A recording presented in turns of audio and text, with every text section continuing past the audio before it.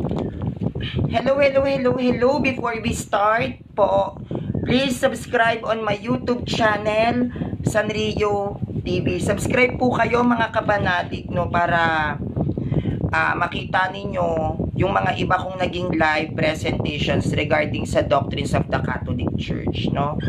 Ang YouTube channel ko po, I repeat, is Sanrio TV. No, subscribe po kayo. Kamusta? Good morning, good morning, good morning. Kagigising ko lang. At at last, no, uh, natapos ko din yung history ng Baptist Church. So, bakit nga ba ang presentations ko sa inyo ay history, mga history ng mga sekta? Napakahalaga mga kapanalig na malaman natin ang kanilang church background. Mahalaga na malaman natin ang kasaysayan paano sila nabuo. Kasi hindi na hindi tayo makaka hindi natin maipagtatanggol ang Roman Catholic Church kung wala tayong idea o wala tayong knowledge kung paano nabuo ang mga sektang ito no? Inuna ko lang pong uh, saliksikin ang Baptist Church kasi napakahirap. Sa totoo lang po biruin nyo almost 3 days. 3 days ko siyang ni-research at napaka-komplikado niyang aralin napakahirap ang daming taong involved kung paano nabuo ang ganito at ang daming Baptist churches sa United States at saka dito sa Pilipinas. Sobrang dami. Kaya talaga napaka-complicated ng ng ng ng pag-aaral ko o yung ginawa kong pagsasaliksik sa Baptist church yung history nila no? Kasi hindi ba lagi nila tayong inaatake? Ang sabi nila, ang Pope daw natin, nagpapapatay ng ganito, nagpapapatay ng ganyan. Saliksikin naman din natin yung mga sekta nila. And pag natapos ko to, ang isusunod nating uh, sasaliksikin ay yung kasaysayan ng Iglesia ni Cristo na tatag sa Pilipinas. So lahat po ng mga ilalatag ko sa inyo na presentations ay patungkol sa kasaysayan ng pagkakatatag ng kanilang mga kinaaniban para tayo ay makapagtanggol o ma- para maipagtanggol natin ang ating simbahan, dapat kilala nyo at alam ninyo kung sino yung kalaban. No? Kailangan alam ninyo yung background history. Hindi lang po tayo basta sitas ng sitas, hindi lamang po tayo basta latag ng latag ng traditions. Napakahalaga na alam din natin kung paano sila naitatag para mas lalo nyong maramdaman yung pakiramdam na sigurado ako. No, sigurado akong fake church to. Peke to, I'm sure. No, kaya talagang sinikap ko talaga na matapos kahit hirap na hirap ako, tinapos ko talaga tong history ng Baptist Church. Shout out po sa 20 live viewers. Kay Kuya Brian Caberte, shout out. Kay Mami Alma et Xavi Suyom, shout out. Kay Kuya Florence Ilagan, shout out po, no?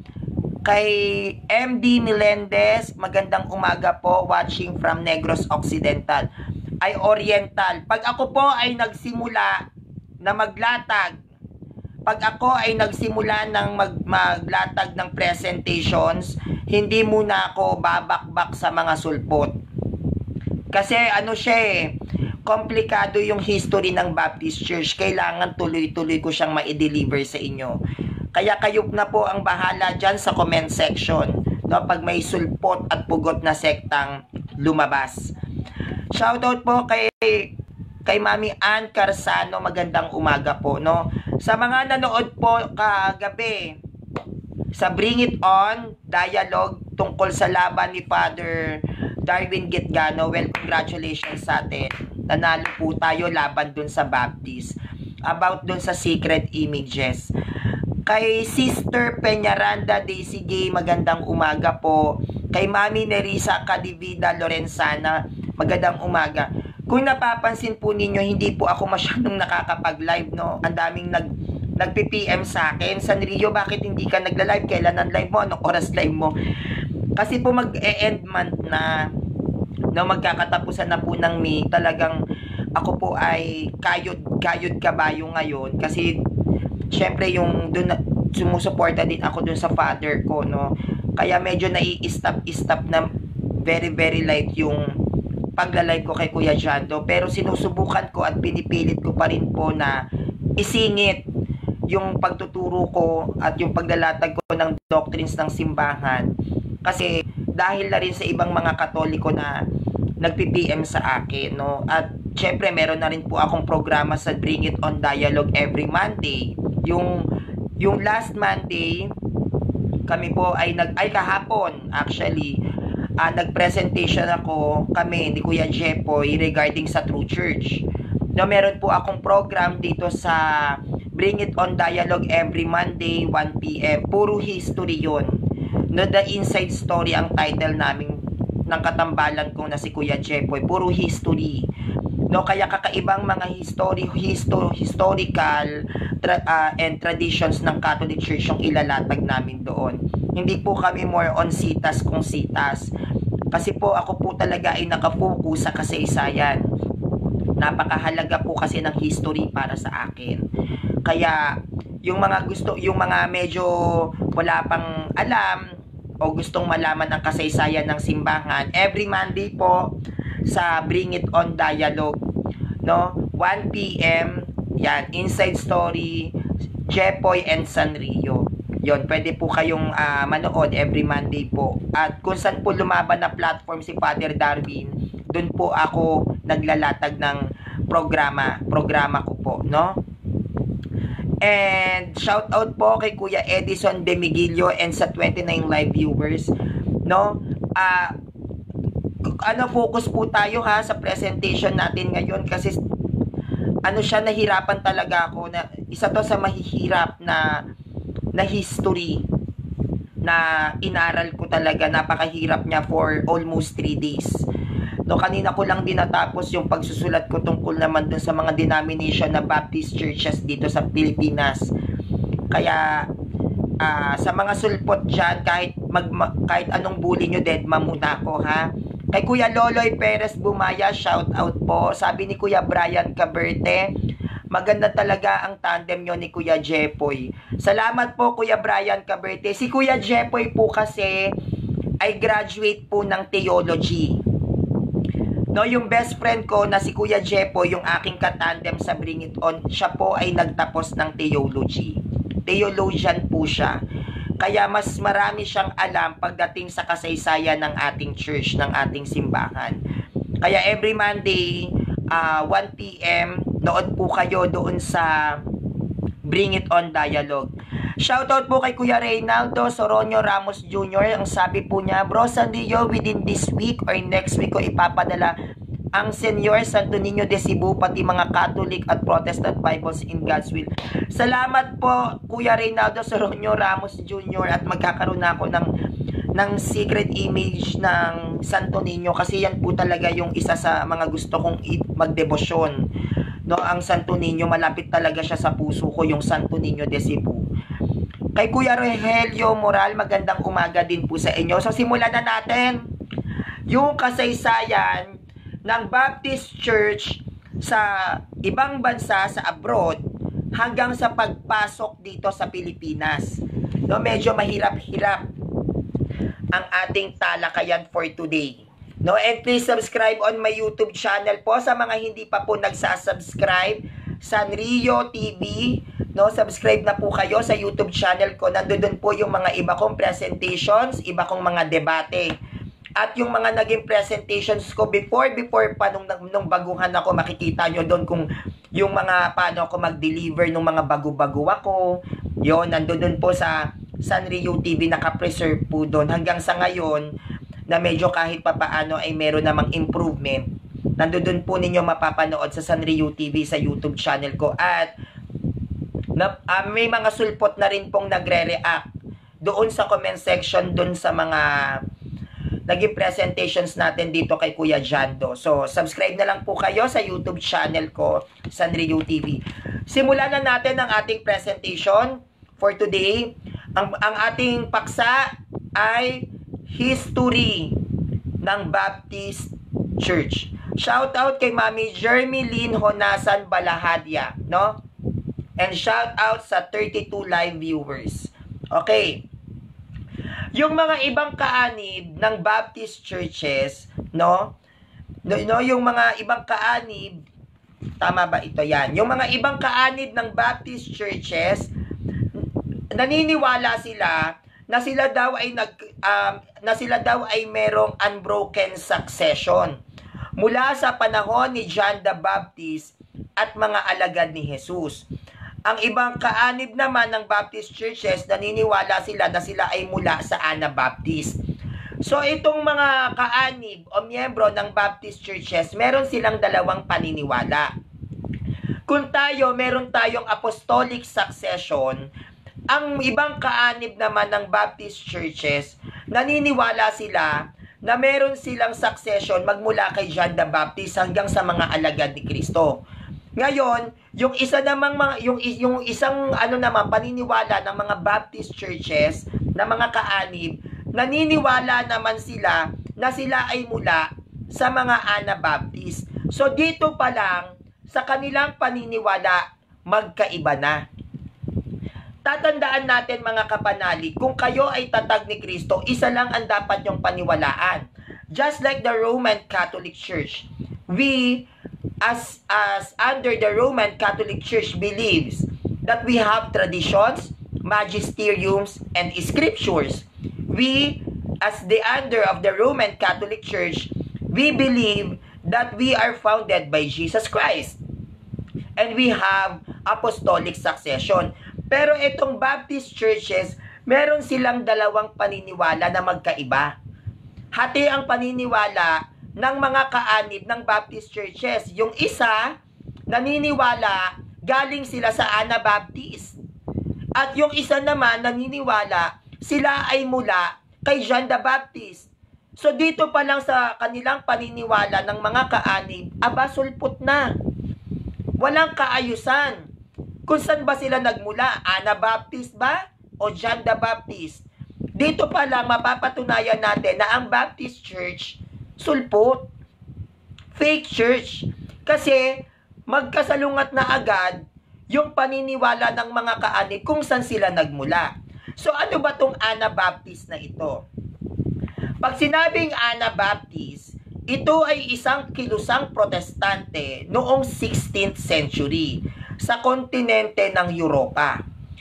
Ganun pa man ang kaani ang mga kaanib ng Anabaptist, na mga kaanib ng Baptist Church sila ay sumang-ayon bilang isang denominasyong nagsasalita ng Ingles na nagsimula ng 17th century bilang isang sangay ng kongregasyon. So, merong merong ano, merong ibang mga kaanib ng Baptist Church na sumang-ayon.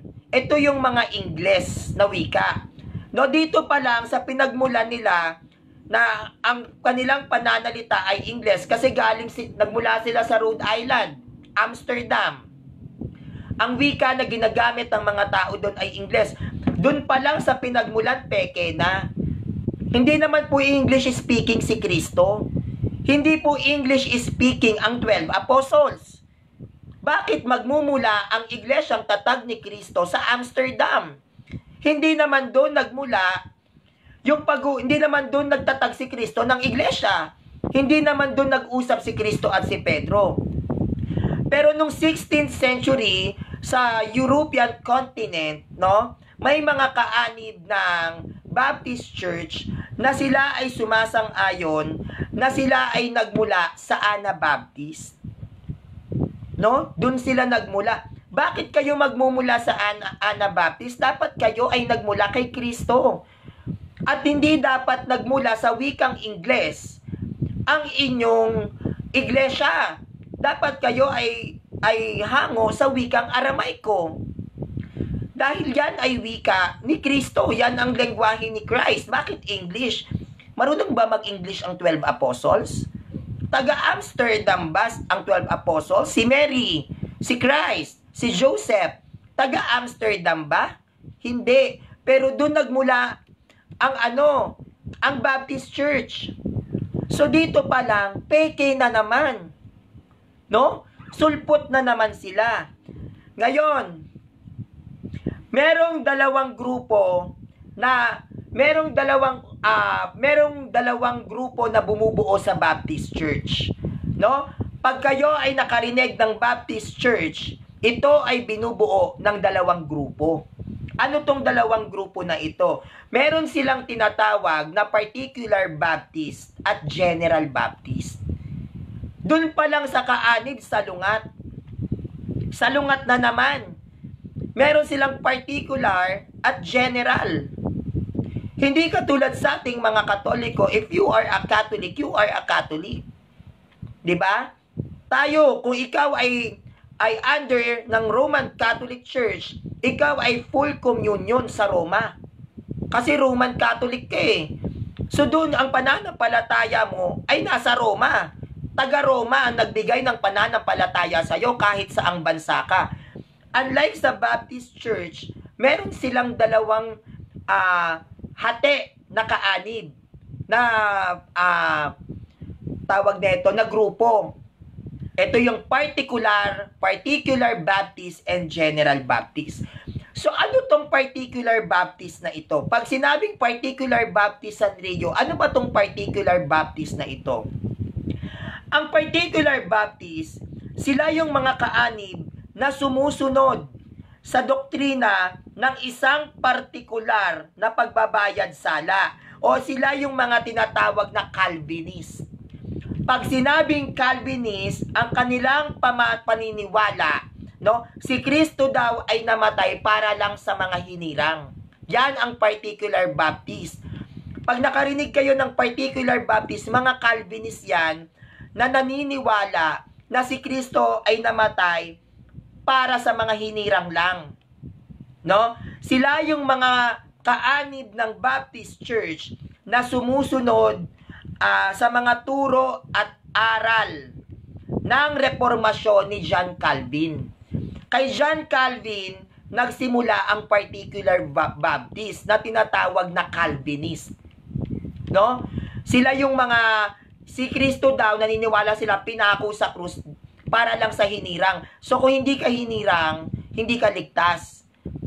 No? Nagpakamatay daw si Kristo para lang sa hinirang, hindi para sa lahat ng tao.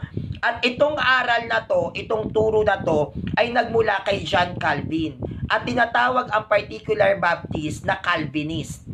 Malinaw po yan ha, Calvinist, pag sinabing particular Baptist. So dito tayo sa General Baptist. Ano ba tong General Baptist naman? No? Ang gulo nila, mga kaanib nila may particular na may general pa. Imagine ninyo, kaanib ng Baptist Church magkakaiba ng paniniwala. Ganyan ba kagulo ang iglesia na tatag ni Kristo? Si Kristo ay Diyos ng kapayapaan at kaayusan. Kung ang iglesia mo ay ay, ay inspired by the Holy Spirit, hindi magulo doktrina nyo. Pero ang gulo ng doktrina nila, ninyo papak, ilalatag ko sa inyo kung gaano kagulo. So meron pang isa, General Baptist. So ano tong General Baptist na ito? No? Pag sinabi namang General Baptist, uh, ang kanilang pinanghahawakan na doktrina, no, ay tinatawag na pagbagpa uh, pagbabayad sala din. Pagbabayad sala saan? Naniniwala ang mga General Baptist na si Kristo daw ay namatay para sa lahat ng tao at hindi lamang para sa mga hinirang katulad ng ginagawa ng mga Calvinist which is ito yung mga particular Baptist. At sila pag sinabing General Baptist sila ay tinatawag na semi-Calvinist ni Jacobus Arminius isang Dutch theologian noong 17th century ang particular Baptist at ang general Baptist, sila ay may magkasalungat na doktrina at paniniwala. Imagine ninyo ha, under ng Baptist Church ang dalawang uri ng kaanib, no? Na titulo naglalaban. May Calvinist at may semi-Calvinist. Yung Calvinist, tatag ni John Calvin na tinatawag na particular Baptist. Yung ano naman, semi-Calvinist na pinasimula ni Jacobus Arminius, isang Dutch theologian noong 17th century, sila naman ay tinatawag na General Baptist. Pag sinabing particular Baptist, si Kristo ay namatay para lang sa mga hinirang. Pag sinabing General Baptist, si Kristo ay namatay para sa lahat ng tao, hindi lang sa mga hinirang. Kaya medyo anti-Calvinist sila. Sila ay sumasalungat sa doktrina at aral ng mga particular Baptist. Dito pa lang po naglalaban na sila. Ang mga Baptist. Can you imagine? 16th century, nauna pa si Martin Luther, ang Lutheran Church 1517. 'Di ba? Ganyan ba ang true church? Magulo ang doktrina? Ultimo mga kaanib naglalaban-laban. Bakit? Dahil ito ay based on their own interpretation. Kung talagang inaral nila ang kanilang doktrina, bakit naglalaban-laban ang mga kaanib nila sa aral at sa turo ng kanilang simbahang kinaaaniban? Bakit kailangan magkaroon ng particular Baptist at General Baptist? Unlike sa Roman Catholic Church, kung ikaw ay katoliko, ikaw ay under ng Roman Catholic Church, full communion ka sa Roma, yun lang yun, katoliko ka, period. 'Di ba? Pero sila iba, may particular at may general baptist members. Ang gulo, 'di ba? Okay. San ba nagsimula ang General Baptist? Ang General Baptist, ito ay nagsimula mula sa mga English separatist na tinatawag. Samantalang ang particular Baptist, sila ay nagmula sa not separatist freedom. Tandaan nyo ha, ang, ang General Baptist, sila ay mula sa mga English separatist. Ang particular Baptist, sila naman ay nagmula sa not separatist freedom. Okay. Ang general at particular Baptist, ito ay parehong kongregasyon ng Baptist Church, no? Pag, pag sinabing particular at general Baptist, ito ay parehong kongregasyon ng Baptist Church. Itong particular at general baptist, ito ay parehong naniniwala sa kalikasan at pamahalaan ng simbahan. Naniniwala sila na ang kanila na naniniwa, naniniwala sila na ang buhay mananampalataya ay dapat nakakulong sa pattern ng simbahan sa New Testament at ito ay dapat pinaniniwalaan ng mga mananampalatayang Baptist lamang. Umiikot ang aral at doktrina ng mga Baptist churches sa New Testament. Pag ikaw ay kaanib ng Baptist Church, ng Baptist Church, ang inyong doktrina, ang inyong aral ay nakakulong o umiikot lang sa New Testament. Dahil nga sila, naniniwala sila, yung iba, naniniwala yung iba na sila ay mula kay John the Baptist.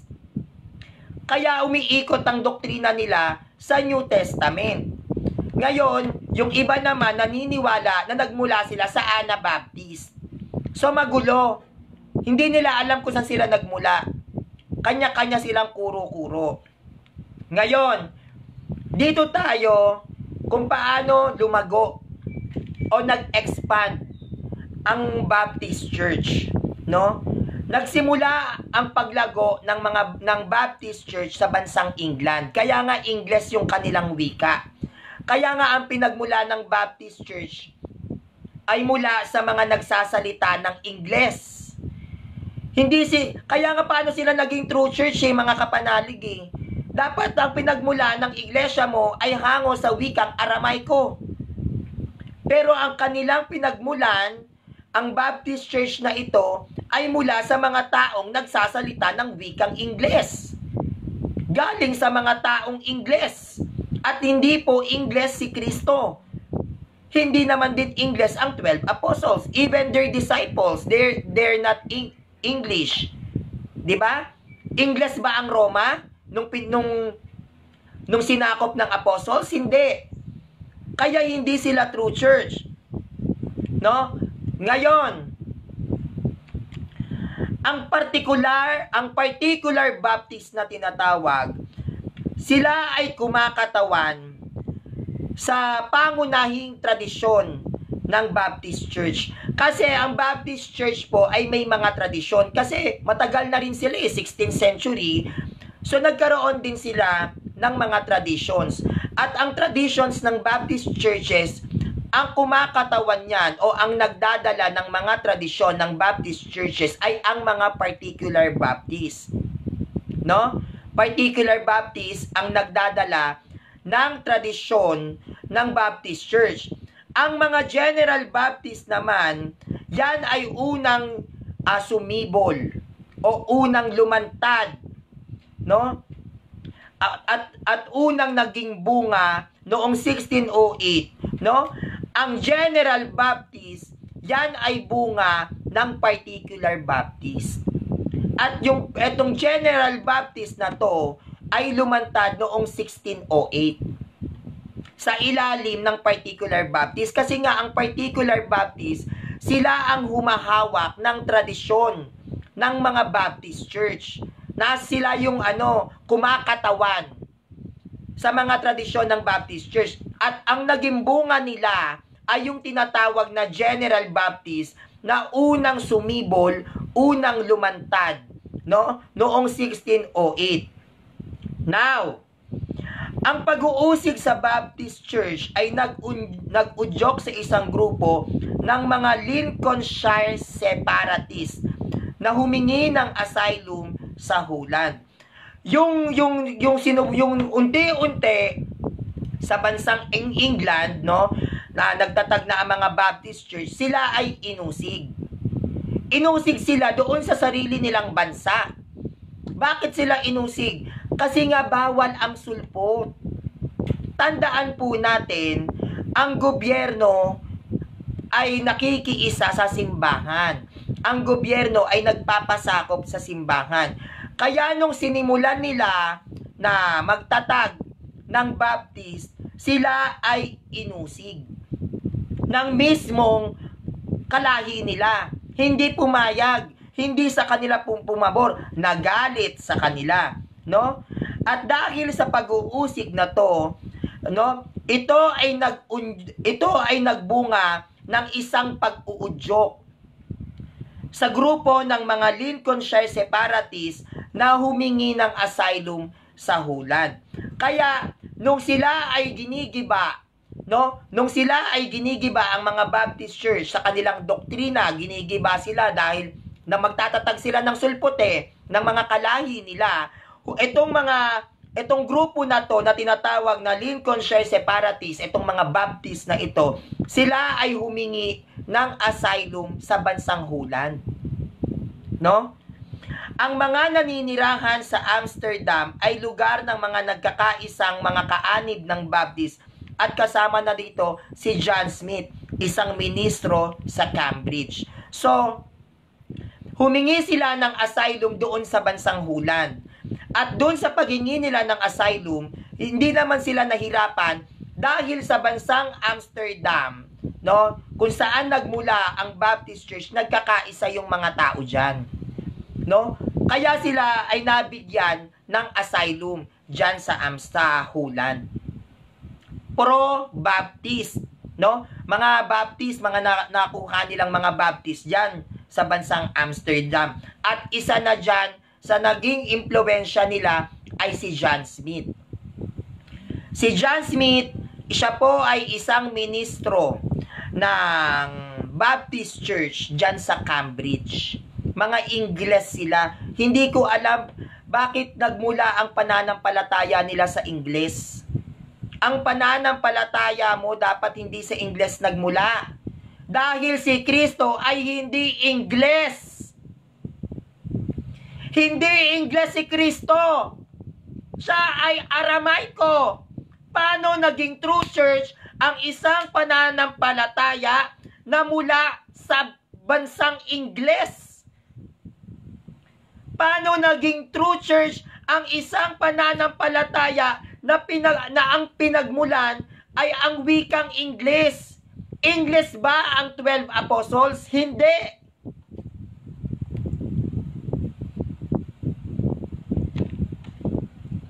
No? Hindi sila mga Ingles.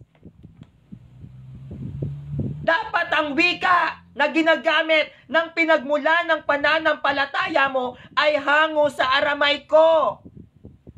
Ang wika na ginag dapat ang lahi na pinagmula ng pananampalataya mo ay mga Hudyo. Hudyo si Kristo. Hindi Ingles. Bakit andiyan kayo?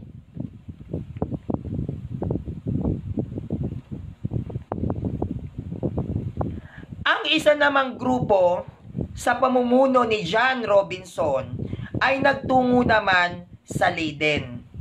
Nagkaroon ng debate ang mga grupo ng Baptist patungkol sa bautismo na kahulugan ng pagiging miyembro bilang isang Baptist. So, itong grupo ni John Robinson, sila ay nagtungo sa Leiden.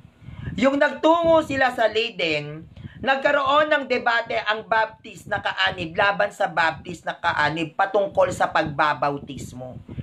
Sila-sila mismo ay nagde-debate dahil nga magulo ang aral nila. Dahil ang pinagmulan ng aral ng Baptist ay kanya-kanyang interpretasyon.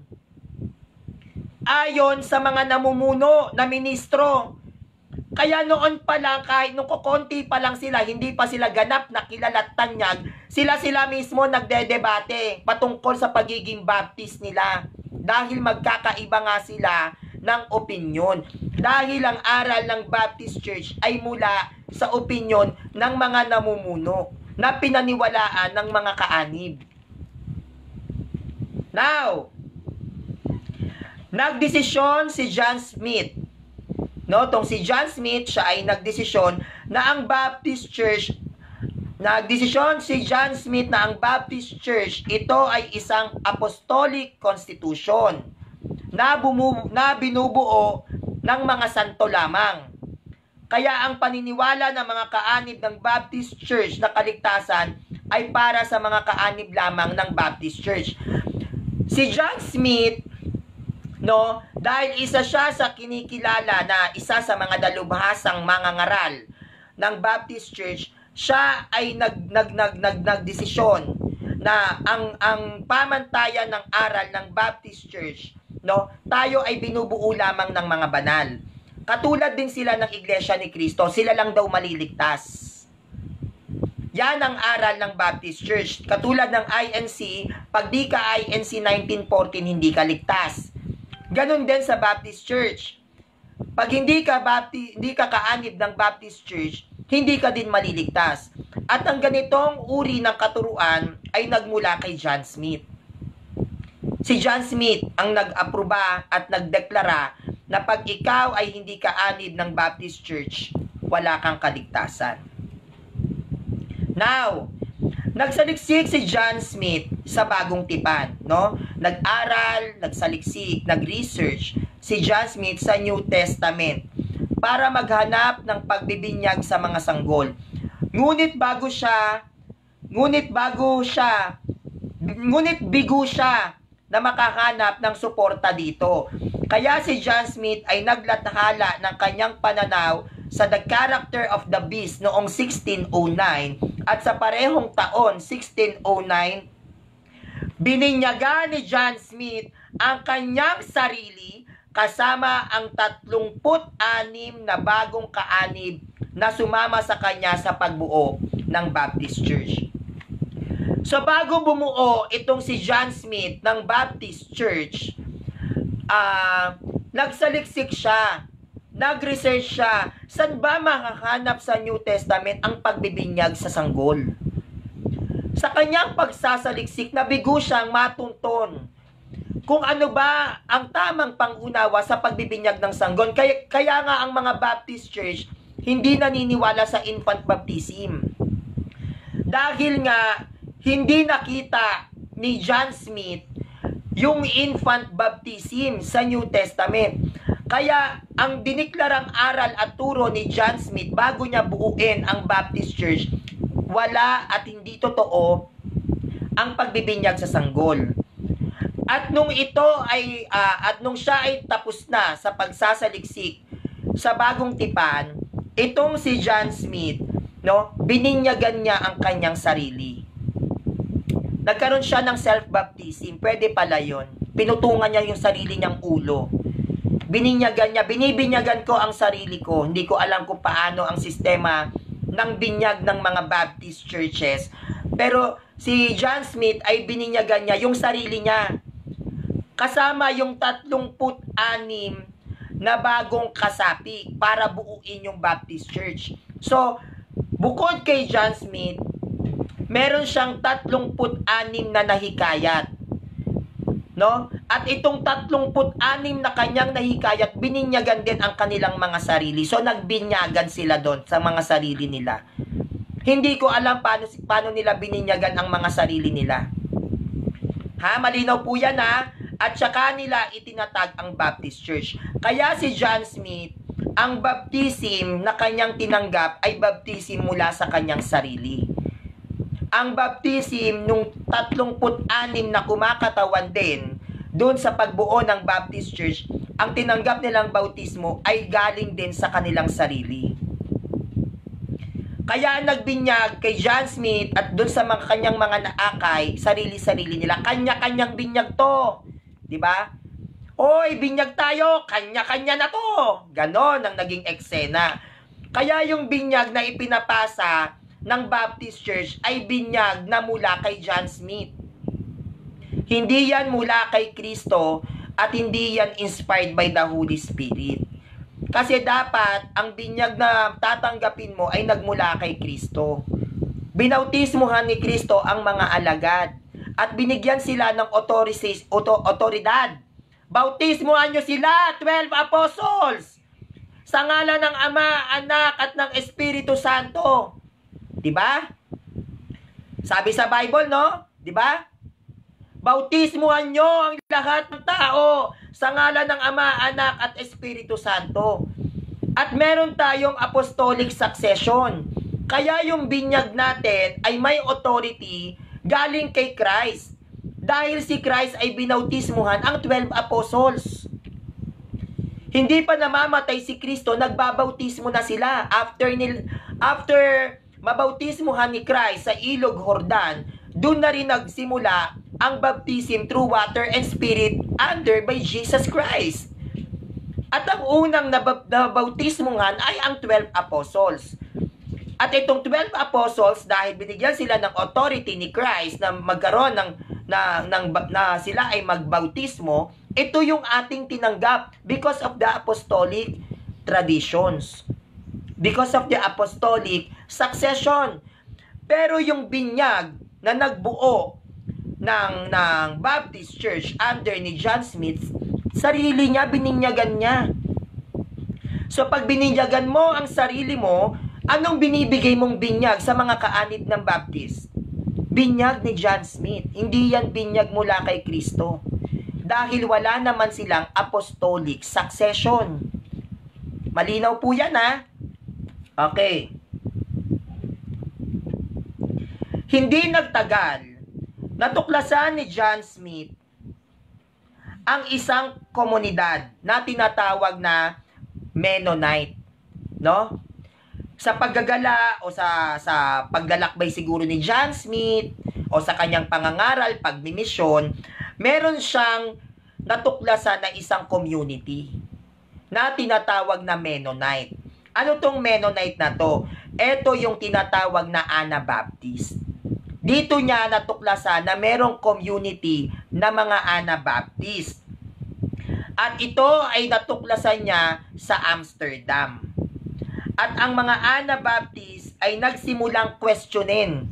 No? So yung natuklasan ni John Smith, yung mga Anabaptist dito sa Amsterdam, community ng mga Mennonite, no? Tong mga Anabaptist ay uh, nagsimulang paano ba? usigin si John Smith. Bakit nila inusig si John Smith?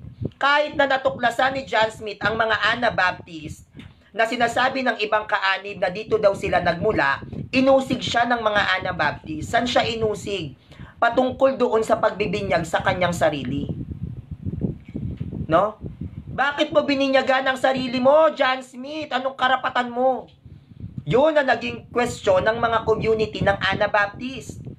Mali ang ginagawa mo. Kaya nga po hati.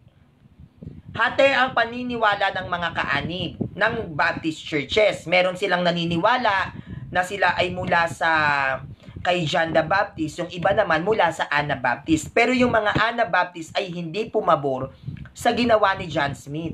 Kasi nga, bakit mo nga naman bibinyagan ang sarili mo? Hindi ka naman Diyos. Sino ba nagbigay ng authority kay, kay John Smith na binyagan niya ang kanyang sarili? Wala. ba? Wala, wala siyang authority. Bakit niya bibinyagan yung sarili niya? So, isa yon sa naging pagke-question o naging pagdududa ng Anabaptist dito kay John Smith. Okay. Matapos ang investigasyon o matapos yung pag-iimbestiga ng mga Anabaptist kay John Smith, no, matapos ang investigasyon ng mga kaanib ng Baptist Church kay John Smith, ninais ni John Smith na magkaisa ang Anabaptist at Baptist Church. Ngunit ito ay tinutulan at nilabanan ni Thomas Helwis at ng iba pang kaanib ng mga Anabaptist. So, nung, nung iniimbestigahan, iniimbestigahan na tong si John Smith ng mga Anabaptist, tinangka ni John Smith na magkaisa ang Anabaptist at yung Baptist Church na tatag niya. Magkaiba kasi yan eh. Magkaiba po ang Anabaptist at yung Baptist Church mismo. So itong si John Smith, nung siya, after the investigation, doon sa pagbibinyag niya sa sarili niya, ah, uh, ninais niya na pag magmagkaisa o gawing isa yung Anabaptist at yung tatag niyang Baptist Church. Pero yung mga kaanib ng, uh, ng Anabaptist ay hindi pumayag. Hindi po sila pumabor. Siya po ay nilabanan si John Smith, tinutulan siya, no? Nilabanan siya ni Thomas Helwis at ng iba pang mga kaanib ng Anabaptist. Hindi po siya nagtagumpay. Dahil nga po, sino ba naman matinong tao, bibinyagan mo yung sarili mo. Wala pong ganon. ba? Kaya hindi po true church ang Baptist Church. Saka nakakita sarili mo, bininyagan mo. No? Ngayon, ang particular Baptist, ito ay mula sa hindi hiwalay na simbahan sa Baptist Church na itinatag ni Henry Jacob sa Southwark noong 1616. Noong 1638, maraming kaanib ng Baptist Church ang nag-aklas at nagrebelde at nagprotesta sa ilalim ng pamumuno ni John Spilsbury at dito nabuo ang unang particular Baptist. So, saan ba nabuo ang unang particular Baptist? Itong particular Baptist, ito ay mula talaga sa original na Baptist Church. Sila yung tinata sila yung kumakatawan sa mga tradisyon ng Baptist. No? Ngayon, na itong itong particular Baptist na ito, ito ay tinatag mismo ni Henry Jacob sa Southwark noong 16th century. Kaya noong 1638, maraming kaanib ng Baptist Church ang mga lumaban, ang mga nag-aklas, ang mga nagrebelde, ang mga tumutol, ang mga pro- nagprotesta sa ilalim ng pamumuno ni John Spilsbury. Nung namumuno na si John Spilsbury, maraming Baptist na kaanib ang nagrebelde. Maraming hindi suma sumang-ayon, maraming nagalit. At dahil sa galit, sa pagre-rebelde, sa pagpaprotesta ng mga kaanib ng Baptist Church na ito sa ilalim ni John Spilsbury, dito nabuo ang unang partikular na Baptist Church. Ang gulo, di ba? Dahil lang sa hindi sila pumabor doon sa mga ngaral ng Baptist, nagkanya-kanya na naman sila. Bumuo na naman sila ng unang particular Baptist naman na tinatawag. 'Di ba? Ganon. Ganon sila. Kapag hindi nila gusto doktrina mo, gagawa ko ng sariling akin, walang pakilamanan. Ganyan ang sistema sa ilalim ng Baptist Church. Now, sa mga sumunod na dekada, ang General Baptist ay naglaho at na, naubos dahil sa pagdududa at ang General Baptist ay humina at tuluyan ng nawala at sila'y naging Unitarian. No? Sa mga nagdaang mga dekada, no, sa mga lumipas na panahon, yung General Baptist na ito ay unti-unting naging mahina. Unti-unti silang nauubos. No, unti-unti silang nagigiba dahil yung mga kaanib ng General Baptist ay nagkaroon ng malaking pagdududa. At itong General Baptist na ito, nung sila ay tuluyan ng naging mahina at tuluyan ng naglaho, lahat ng under ng General Baptist, sila ay naging Unitarian. Sila yung mga naniniwala na ang Ama at si na ang Ama ay nagkatawang tao.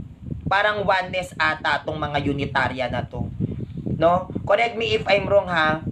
Ah, naging Unitarian sila.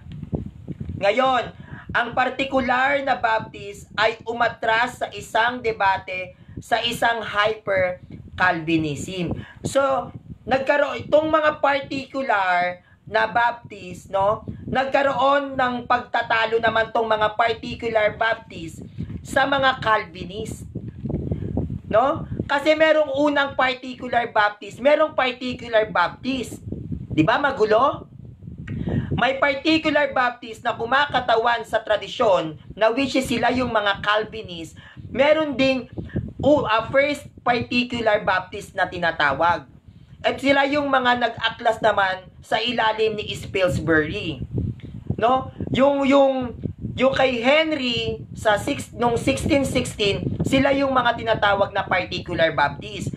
At yung may, may mga, at yung mga nag-aklas naman doon sa ilalim ni Spilsbury, sila yung tinawag na first particular Baptist. So, itong particular Baptist na which is tinatawag nating Calvinist at unang particular Baptist ay nagkaroon ng debate. Hinamo naman sila ng mga Calvinist. Kasi syempre pareho sila eh particular Baptist, tapos unang particular, nakaka-insulto yon Sino ang tama sa ating dalawa? So, tong mga hyper Calvinist o yung talagang uh, parang tinatawag na traditionalist o yung mga deboto ng mga ng under ni, ni ng mga Calvinist no hinamon ngayon nila ang mga first particular Baptist. At ang first particular Baptist na ito sila ay umatras no hindi nila kinaya ang mga Calvinist. Ang particular na Baptist sa England ay nagsulong ng isang aktibidad sa pangunguna ni Andrew, Flu ni Andrew Fuller, isang English Baptist clergyman at William Carey. No? Nagsulong ngayon itong mga particular Baptist, itong mga Calvinist sa bansang England. Ano yung sinulong nila? Sila ay nagsulong ng English Baptist clergymen. Ay, sila ay nagsulong ng isang aktibidad sa ilalim ni William Carey at Andrew Fuller na mga English Baptist clergymen. No, gumawa sila ng aktibidad dito sa bansang England.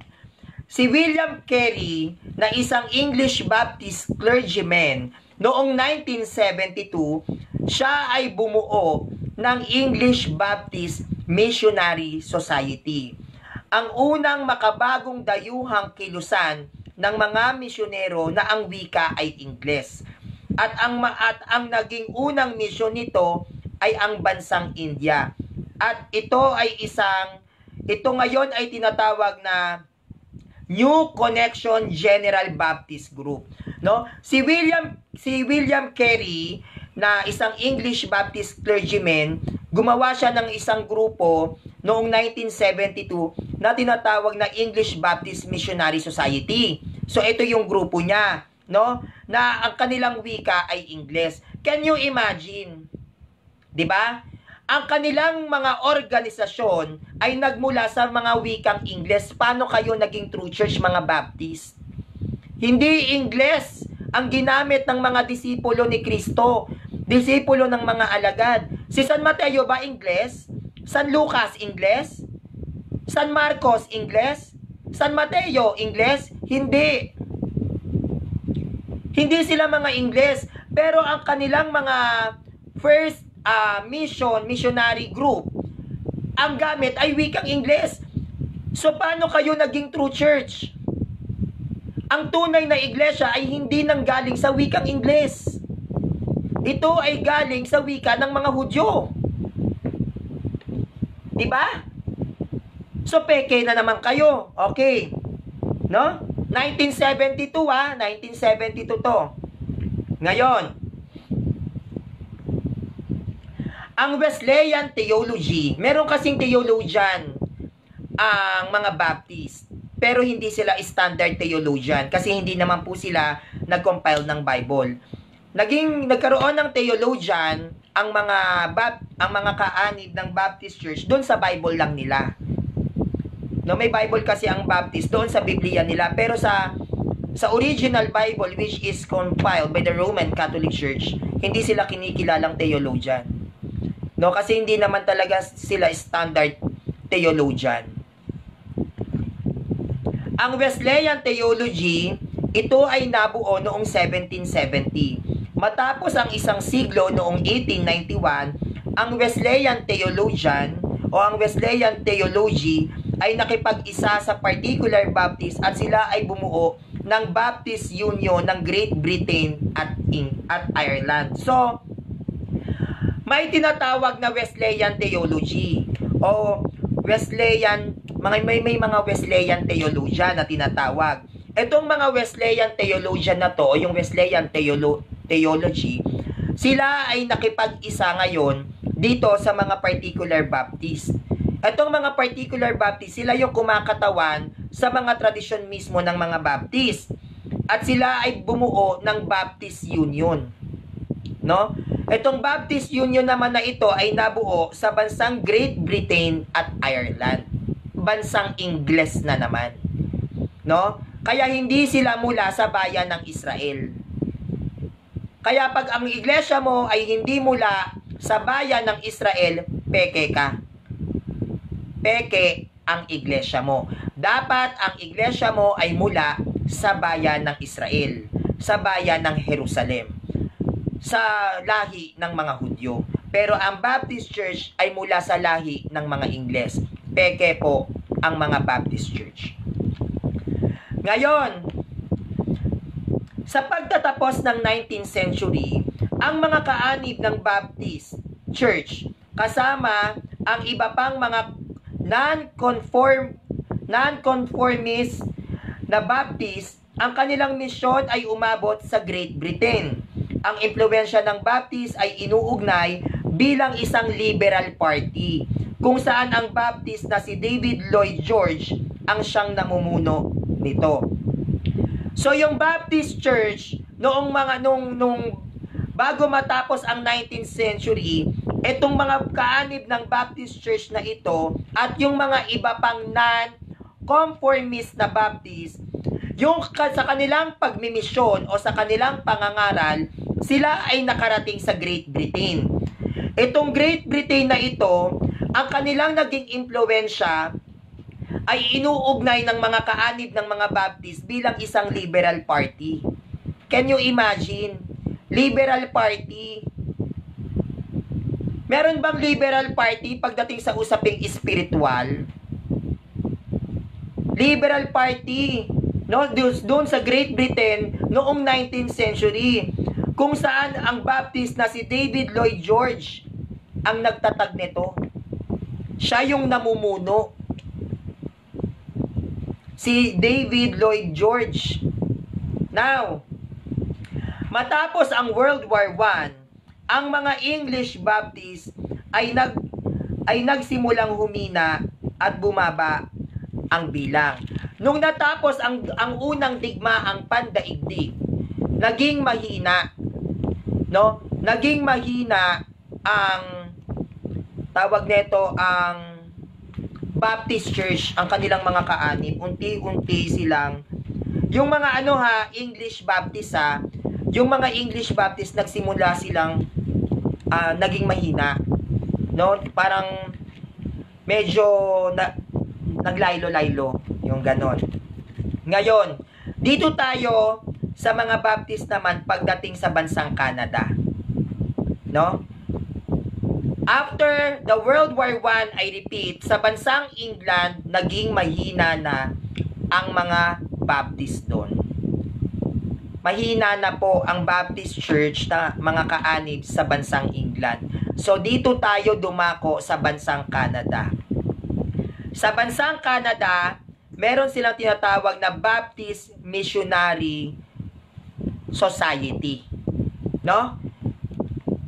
Ngayon, ang pagsisimula naman ng Baptist Church sa bansang Canada, ito ay nagmula kay Ebenezer Moulton, isang kaanib ng Baptist Church na imigrante mula sa Massachusetts na nag-organisa ng isang samahan sa Nova Scotia noong 1763. So, noong 1763 sa bansang Canada, dito sa Nova Scotia, si Ebenezer Moulton, isang imigrante mula sa Massachusetts at kaanib ng Baptist Church, siya ay bumuo ng isang samahan. No? Meron siyang samahan na binuo sa bansang Canada. Now, sa, Onta- sa Ontario, Canada, kung saan nabuo kung saan nabuo ang pinakaunang Baptist, no? Sa Ontario, Canada, kung saan nabuo ang pinakaunang Baptist sa Canada, ito ay binubuo ng mga loyalista matapos ang American Revolution. Habang ang iba namang mga Baptist churches na itinatag ng mga imigranteng Baptist mula sa bansang Scotland at mga misyonero mula sa Vermont at New York. Now, dito daw po sa Ontario, Canada, no? Kung dito daw po nabuo ang unang Baptist Church. Dito unang nagkaroon sa Ontario, Canada, sa bansang Canada. At ito ay binubuo ng mga loyalist, no? Binubuo po siya ng mga loyalist ng mga ng Baptist Church. No? Now, Binubuo ito ng mga loyalist ng Baptist Church pagkatapos ng American Revolution. No? Ang iba namang mga kaanib ng Baptist churches ay itinatag no ni Ebenezer Moulton sa bansang Scotland at ng mga misyonero sa Vermont at New York. So doon sila naghasik. No? Doon sila nagtatag ng kanya-kanyang mga samahan sa Scotland, tas na, yung mga misyonero nakapunta sa sa Vermont at New York. Doon sila gumawa ng mga grupo pagkatapos ng American Revolution. No, doon sila nagkalat. So, dito naman tayo Baptist sa bansang Amerika. Ang mga Baptist, ang mga kaanib no ng Baptist Church sa Hilagang Amerika sila ay mula sa mga katutubo na produkto ng isang kilusan o samahan noong panahon ng kolonyalismo kasabay ng bansang Inglaterra. Yung mga na-convert na, na Baptist sa bansang Amerika ay mula po sa mga katutubo. Maaring ito o sila ay mula sa mga tribo, no, yung medyo hindi maalam walang alam pagdating sa usaping spiritual. Sinamantala nila. Kasi, ang bansang Amerika during that time, ay hindi naman po yan mga katoliko. Sila po ay mga mason. Actually, anti-Catholic nga po sila. Kaya nga po, di ba, yung nakarating doon si John Smith upang mag-aklas at magpasa ng konstitusyon na paghiwalayin ang Estado at ang simbahan no, nag-aklas ang mga Heswita doon sa bansang Amerika. So yung nag-aklas ang mga Heswita doon sa bansang Amerika, ang ginawa ng bansang Amerika, uh, binan binan ng mga Katoliko doon sa Amerika. At ang namay naghari doon si John Smith, yung Baptist Church. At nung pumabor sa kanya ang bansang Amerika, dahil ang bansang Amerika during that time ay hindi naman din ganon kaaral. Siyempre, ano yun eh, ano na-discover yan, hindi naman talaga sila aral. So, yung na-discover, yung naka, napasok na yan ni John Smith, marami siyang na-convert. Marami siyang nakuha. Kasi English sila eh. Nagmula ang Baptist Church sa bansang Ingles. So marunong siyang makipag-usap, makipagdialogo sa wikang Ingles. Unlike sa Roman Catholic Church, tayo ay mula sa bayan ng mga Hudyo. Ang wikang pinagmula ng Roman Catholic Church ay Aramaic. Aramaican, mga Hudyo. Ang ating ano, mga sinaunang Kristiyano.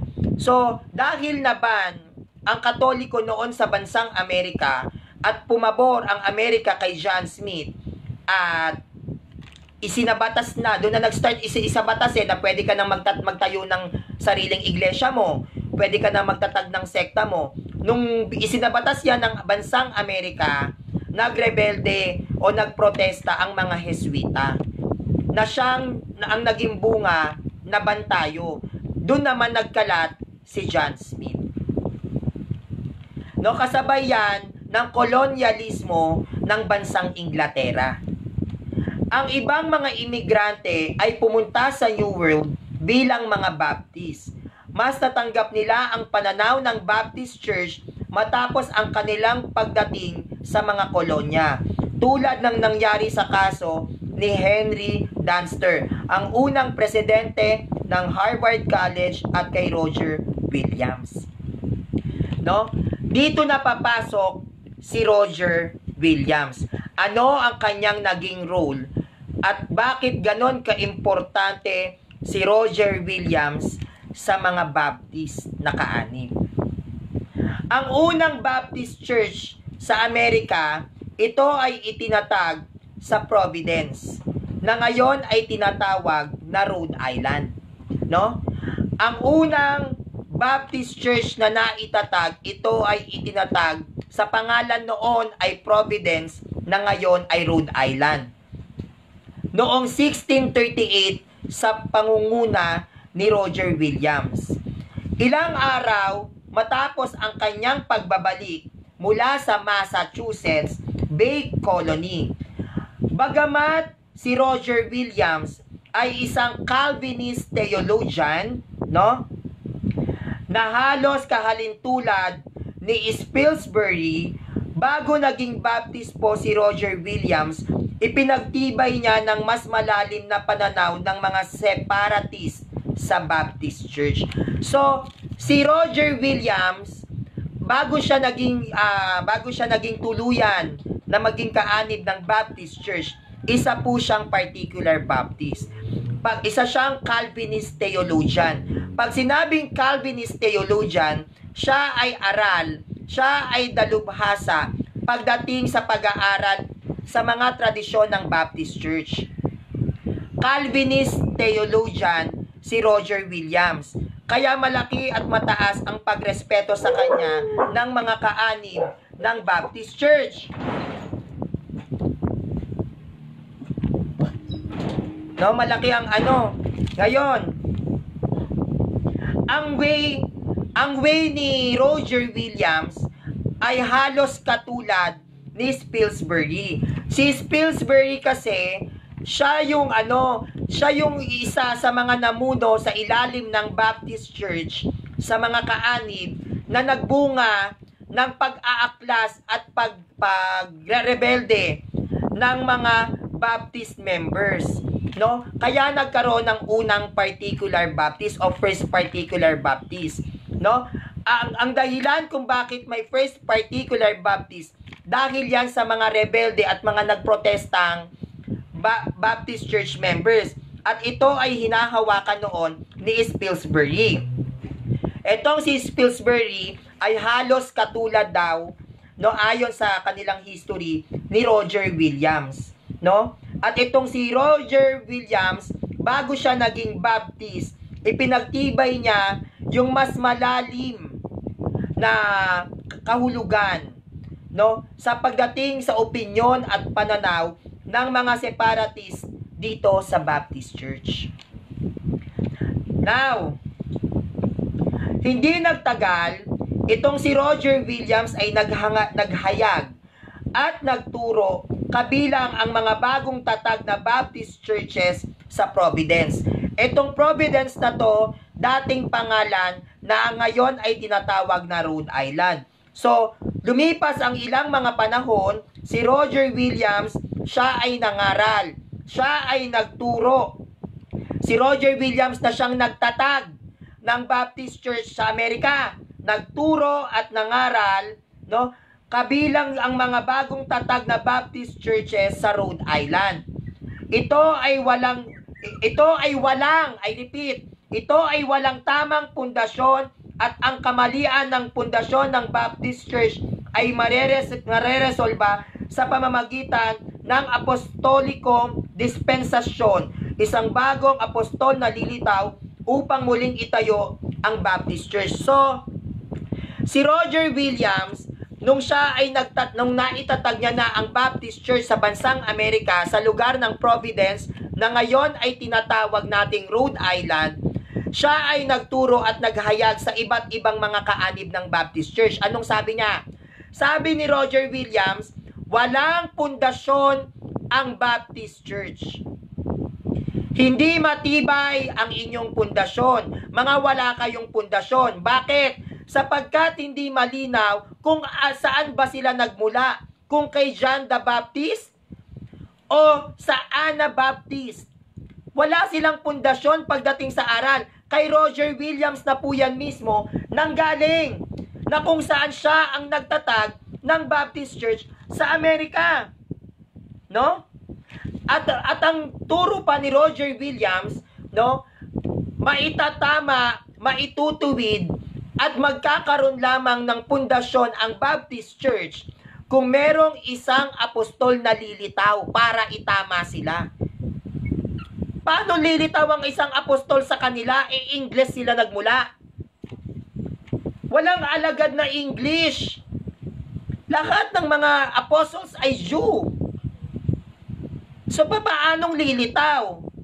'Di ba? Pero 'yun ang kanyang paghahayag na pagtuturo sa iba't ibang mga Baptist churches na nandoon mismo sa Rhode Island. 'Di ba? Yung ganyang katuruan, sulpot na sulpot, 'di ba?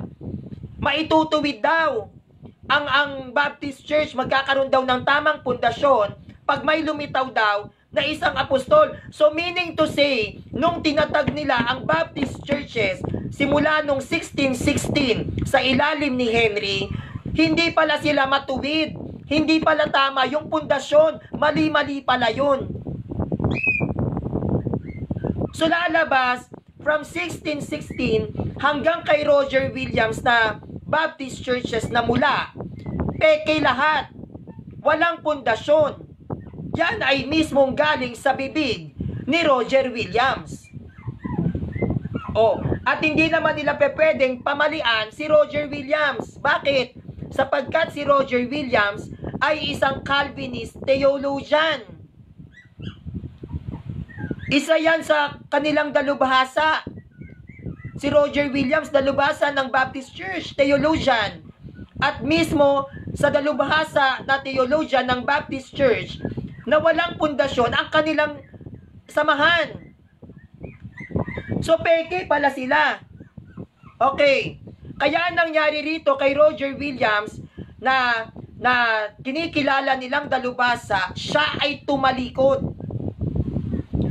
No, tumalikod kasi kumontra siya sa aral eh.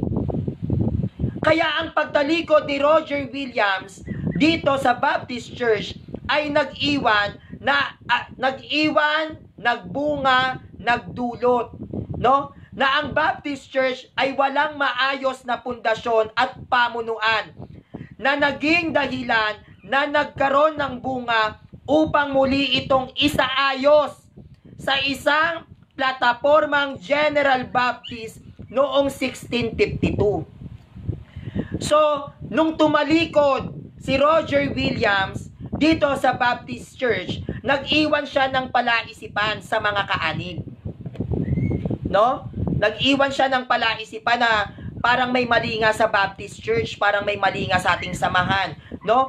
Kaya itong sinabi, pag itong dahil sa pagtalikod ni Roger Williams, no?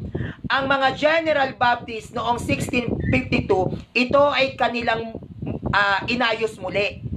Inorganize muli nila. No? At kumalat ang mga aktibidad ng Baptist Church sa mga kolonya.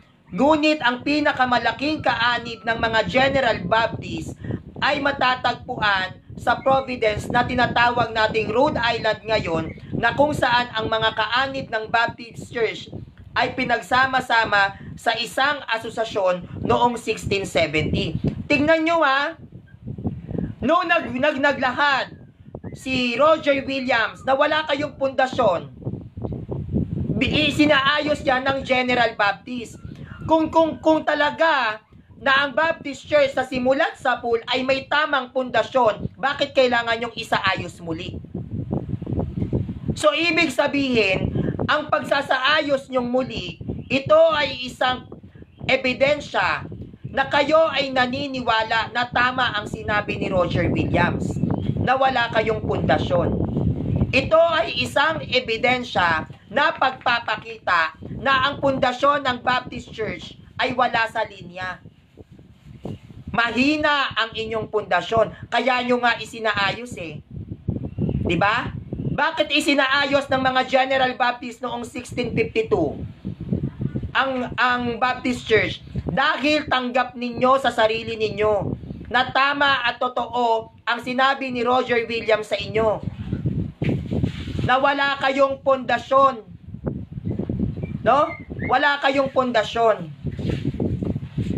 Ang mga naunang General Baptist ay hindi nakapagdulot no ng malaking impluensya sa mga tao. Karamihan sa mga simbahan ng mga General Baptist na nauna, ito ay nabulok at nasira dahil sa kawalan ng mga kaanib.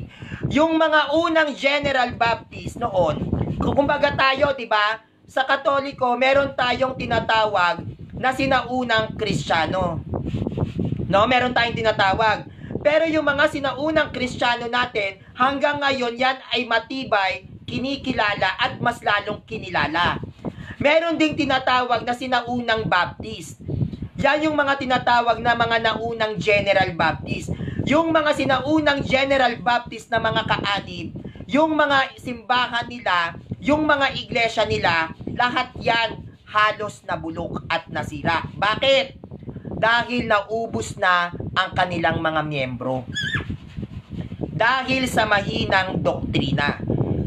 At isa sa mga nagbigay ng malaking impluensya dito ay yung statement ni Roger Williams na ang Baptist Church wala kayong tamang pundasyon. Tatandaan nyo Baptist Church, mga kaanib ng Baptist Church, si Roger Williams ay isang Calvinist theologian. Siya ay napapabilang sa particular Baptist. Isa siya sa inyong kinikilalang dalubhasa na theologian. At ang pinakamasakit na katotohanan, ang mismong theologian ng Baptist Church ay tinalikuran kayo. Isang Calvinist theologian mismo ang tumalikod sa inyo. Theologian ng Baptist Church hindi siya mismo sumang-ayon sa doktrina ng Baptist Church na pagpapatunay na mismong dalubhasa na ng Baptist Church ayaw sa aral nyo. Masakit ang katotohanan, David Jefferson Kalumpang, ganun talaga. Okay. Ang Providence Church, o oh, ito yung tinatawag na Rhode Island, no? Ang Providence Church o Rhode Island na tawag ngayon ay muli nilang isinaayos. Muli nilang inayos bilang isang particular Baptist. Ang kalahating dosenang mga Baptist churches doon ay hindi na kinilala ng American Baptist na naging sanhi ng pagbaba at paghina ng kanilang simbahan. So dito sa Rhode Island, No, meron dito sa yung mga Baptist churches dito sa Rhode Island, which is itong Providence Church na tinatawag, muli nilang inayos. Bakit muli nilang inayos? Dahil humina ang mga mananampalatayang Baptist doon mismo sa Rhode Island. No? Yung inayos nila, yung mga mananampalatayang Baptist dito sa Rhode Island, no? Sila ay hindi nagtagumpay sila ay mas lalong naging mahina. Bakit? Dahil nakalaban na nila ang mga American Baptist. Ang particular Baptist noon na humahawak sa mga tradisyon ng mga Baptist ay hindi na kinikilala ng American Baptist. Kaya nga Baptist sa Baptist naglalaban-laban. Kanya-kanya to. No? Kumbaga, diyan kayo sa Rhode Island o, sa inyo yan, iba kami. Nagkanya-kanya sila. Yung American Baptist ayaw sa mga particular Baptist na nasa Rhode Island. Kaya humina ng humina ang mga miyembro ng Baptist doon sa Rhode Island hanggang sa nabulok ang mga pinatayo nilang mga simbahan doon. Hanggang sa unti-unti silang nauubos. Dahil sa pagkakanya-kanya ng mga miyembro at kaanib. No? Kaya tatandaan natin, ang mga American Baptist ay hindi kinikilala ang particular Baptist. Ang particular Baptist ang siyang kumakatawan sa mga tradisyon sa ilalim ng Baptist Church. Nag, nag-aaway-away sila. Naglalaban-laban sila. Wala silang pagkakaisa. At yan ay pinatunayan na bilang paghahayag ng testamento ni Roger William na isang Calvinist theologian na hindi tama ang pundasyon ng Baptist Church. Dahil sa ganyang sistema, nagkakanya-kanya sila. Kanya-kanyang trip to. Parang ganon. Walang pakilamanan. Akin to. Trip ko to. Unlike sa Roman Catholic Church, hindi tayo pwedeng magkanya-kanya dahil ang ating saligan ay nasa Roma. Kaya kung ano ang batas na inilalabas sa Roma, aral, turo, tradisyon, magisterium, o dyan man sa Biblia, tayo ay dapat magkaisa sa paniniwalang yon. Bakit? Dahil meron tayong pundasyon ang pundasyon natin ay nagmula sa Roma. Hindi katulad sa Baptist Church, sabi nga ni Roger Williams, isang Baptist theologian, Calvinist theologian, wala silang pundasyon. Kaya tumalikod ang kanilang theologian sa doktrina ng mga Baptist. Kaya nagkakanya-kanya sila. Wala kasi silang sariling lungga. Kaya kapag may nagtayo sa bawat bansa wala kang pakialam. Akin to. Ganon ang naging sistema. Nagsolo-solo sila. Solo flight ako, akin to, pinaghirapan ko to, wag kang makialam. Kaya humina ng humina ang mga ka, ang ang Baptist Church. At isa na sa nanghina dito, yung mismo kung saan nagmula ang Baptist Church dyan sa Providence sa Rhode Island. Yung mga pinatayo nila dyan ng mga simbahan na bulok at nasira dahil wala na silang kaanim. Dahil nga sila-sila mismo nagwawasakan, nagsisiraan. Wala silang pagkakaisa. Yan ang isa sa sinasabi ni Roger Williams bilang isang Calvinist theologian, isang Baptist theologian na walang pundasyon ang Baptist Church. Kaya siya tumalikod no? Now, ang uh, dito tayo sa mga tradisyon ng Baptist Church. Tradition, Baptist Church traditions. Pag-usapan naman natin ito. Ang unang simbahan ng Baptist ay binubuo ay binuo no binuo ng mga lahing Ingles at mga gumagamit ng mga dialektong Ingles sa Holland noong 1609 hanggang 1612. Ang Baptist Church ay naniniwala katulad din ni Martin Luther pareho sila ng paniniwala, no? Sabi ni Gabriel Manayon, thank you Wiki. Excuse me Gabriel Manayon, hindi to mula sa Wikipedia. Ito ay mula sa Britannica. Sa Britannica galing to, britannica.com. Hindi ako gumagamit ng Wikipedia. Hindi chipanga ang standard references ko. Gabriel Manayon, hindi to mula sa Wikipedia, excuse me. Galing to sa Britannica. Standard references. Galing din to sa World Almanac. Excuse me. David Jefferson Kalumpa, mag-research ka sa Britannica. History ng Baptist Church, basahin mo. Ito yung presentation ko, dun ko nakita. Inaral ko mismo ito sa britannica.com. Magbasa ka. Hindi ako gumagamit ng Wikipedia, hindi ako pucho-pucho na gumagamit ng mahihinang references. Standard references to, ginagamit to worldwide. Britannica.com.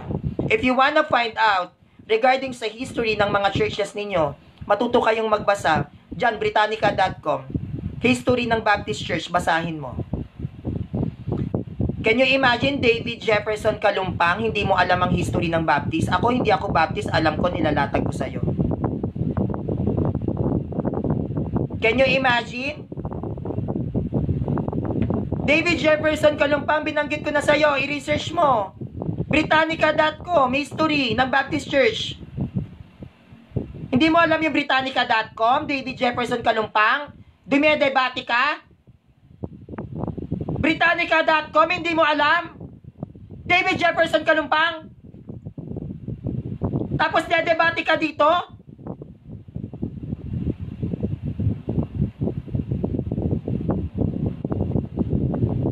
Tsaka ka, tsaka ka tumalak-talak dito sa live kapag alam mo na yung kahalagahan ng Britannica.com. Britannica.com hindi mo alam tapos nalabang ka sa akin dito ng debate?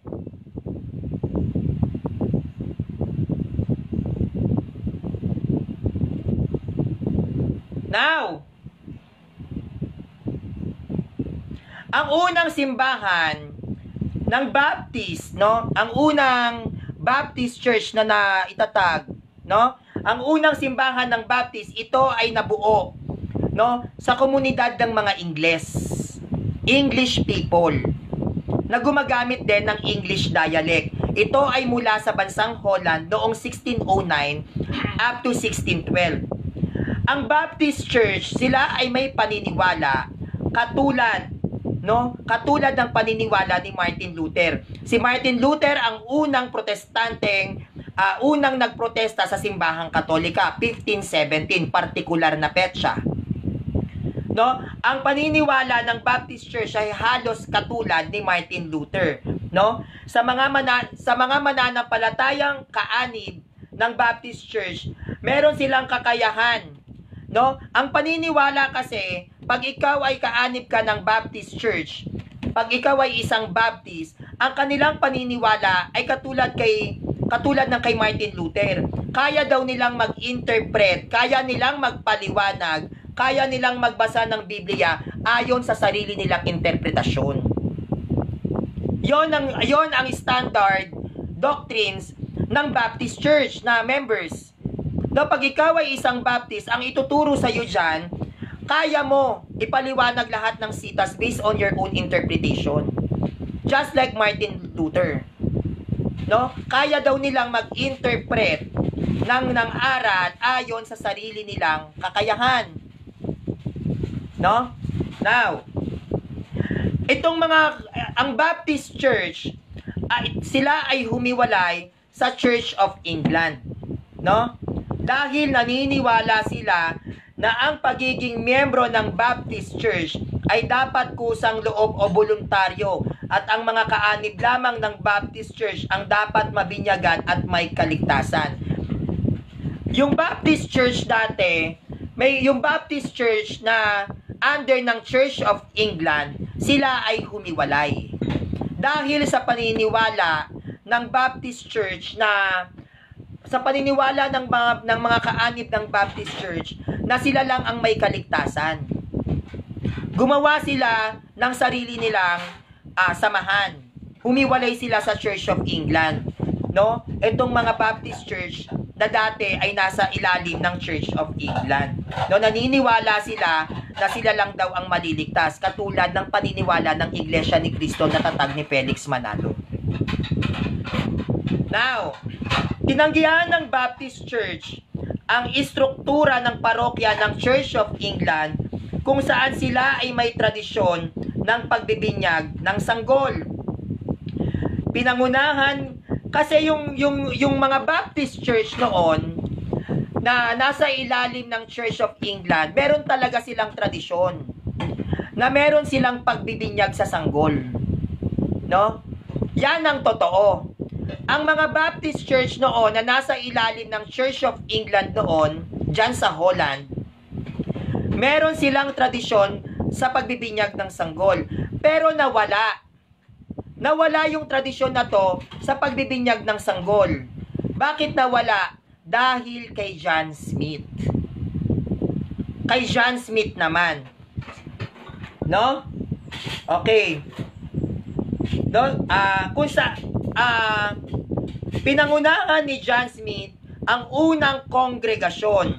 Si Thomas Helvis ay naglakbay pabalik ng England na kung saan itinatag ang unang Baptist Church sa England noong 1612. Ang unang Baptist Church sa North, sa North America ay itinatag ni Roger Williams sa Providence na ngayon ay Rhode Island. Di nagtagal, itinatag ni John Clark ang isang Baptist Church sa Newport, Rhode Island. No? So magkakaiba, no? Na uh, ang Baptist Church na itinatag sa Holland uh, sa ilalim ng Church of England, dati yang may tradisyon ng pagbibinyag sa sanggol. Dahil ngayon dito kay John Smith, no nag, nag siya ay nag-declare na na hindi daw totoo ang hindi raw totoo yung infant baptism, no? Humiwalay ang Baptist Church sa Church of England, bumukod. Dahil nga sa turo ni John Smith na hindi totoo ang hindi totoo ang infant baptism. Ngayon, etong si John, etong si Thomas Helwys na nung siya'y naglakbay pabalik ng England, siya naman yung dumig, dumigma. Si Si Thomas Helwis ay isang Anabaptist. Galing siya sa komunidad ng mga Mennonite. Etong si Thomas Helwis naman ang siyang gumiba kay John Smith. No? Bakit niya giniba si John Smith? Dahil si John Smith ang ang proseso ng binyag na kanyang ginawa, bininyagan niya yung sarili niya. Kaya hindi kahit kailan nagmula ang ang Baptist Church sa Anabaptist Sinubukan kasi ni John Smith nag, na, nagawing isa ang Anabaptist at Baptist Church pero hindi pumayag ang mga Anabaptist. Nilabanan sila ng mga Anabaptist. Kasi nga, si John Smith kasama ang 36 na kaanib na magtatatag ng Baptist Church, kanya-kanya silang binyag.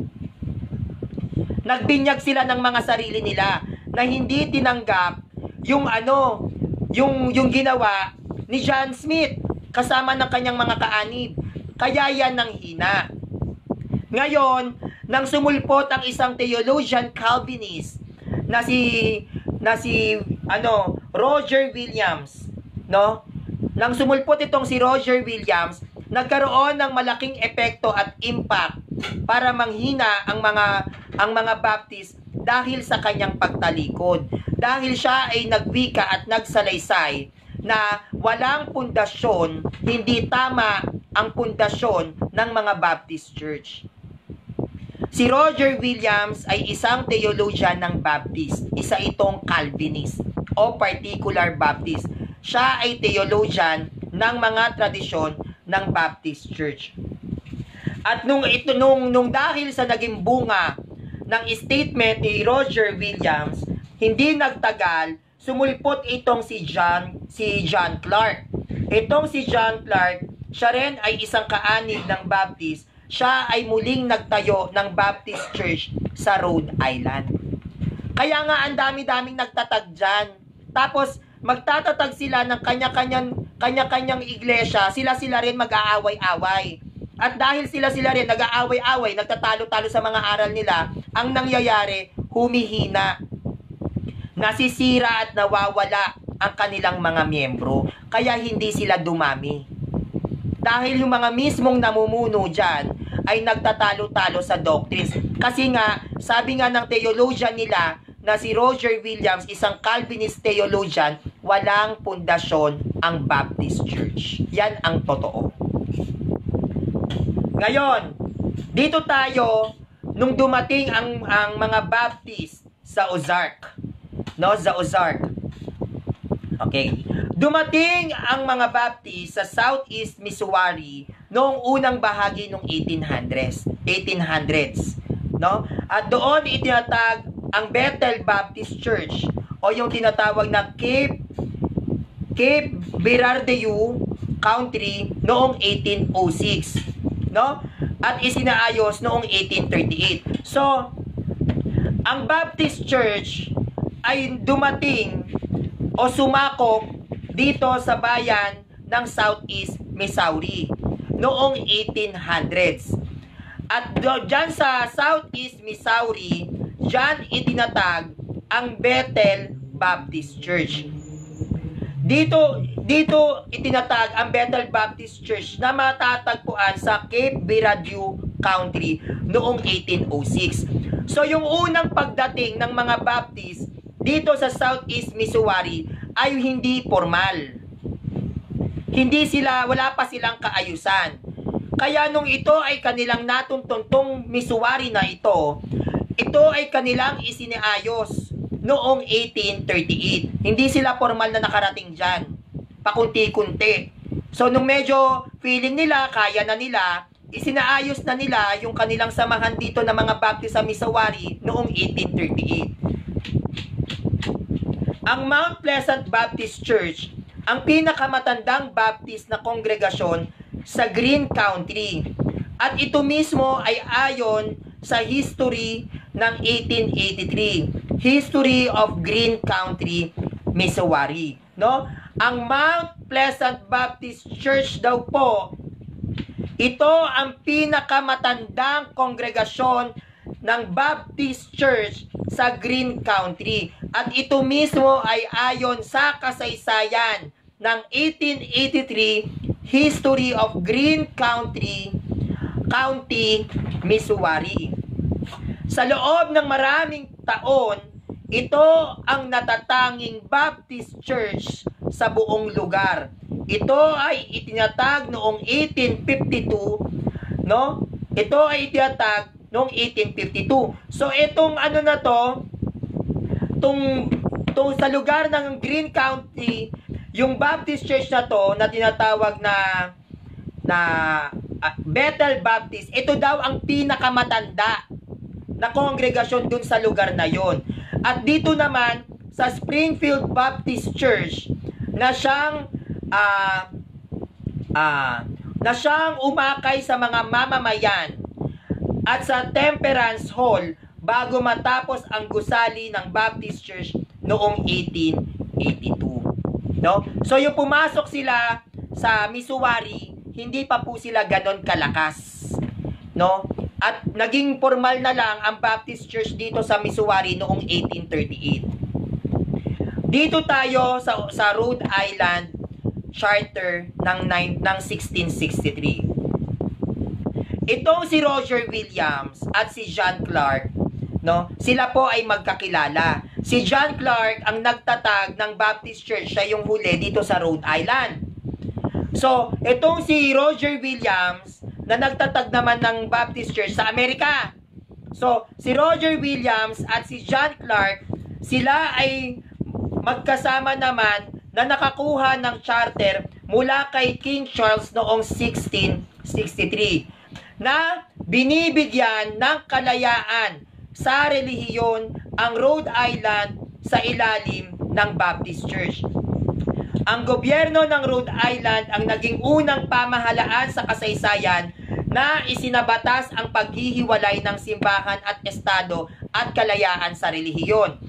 Si John Clark ang una uh, ang ang siyang uh, lumapit kay kay King Charles na paghiwalayin ang simbahan at ang gobyerno noong 1663. Sa ilalim ni John Clark dahil siya ay nagtatag ng Baptist dito sa Rhode Island, ito ay naaprubahan.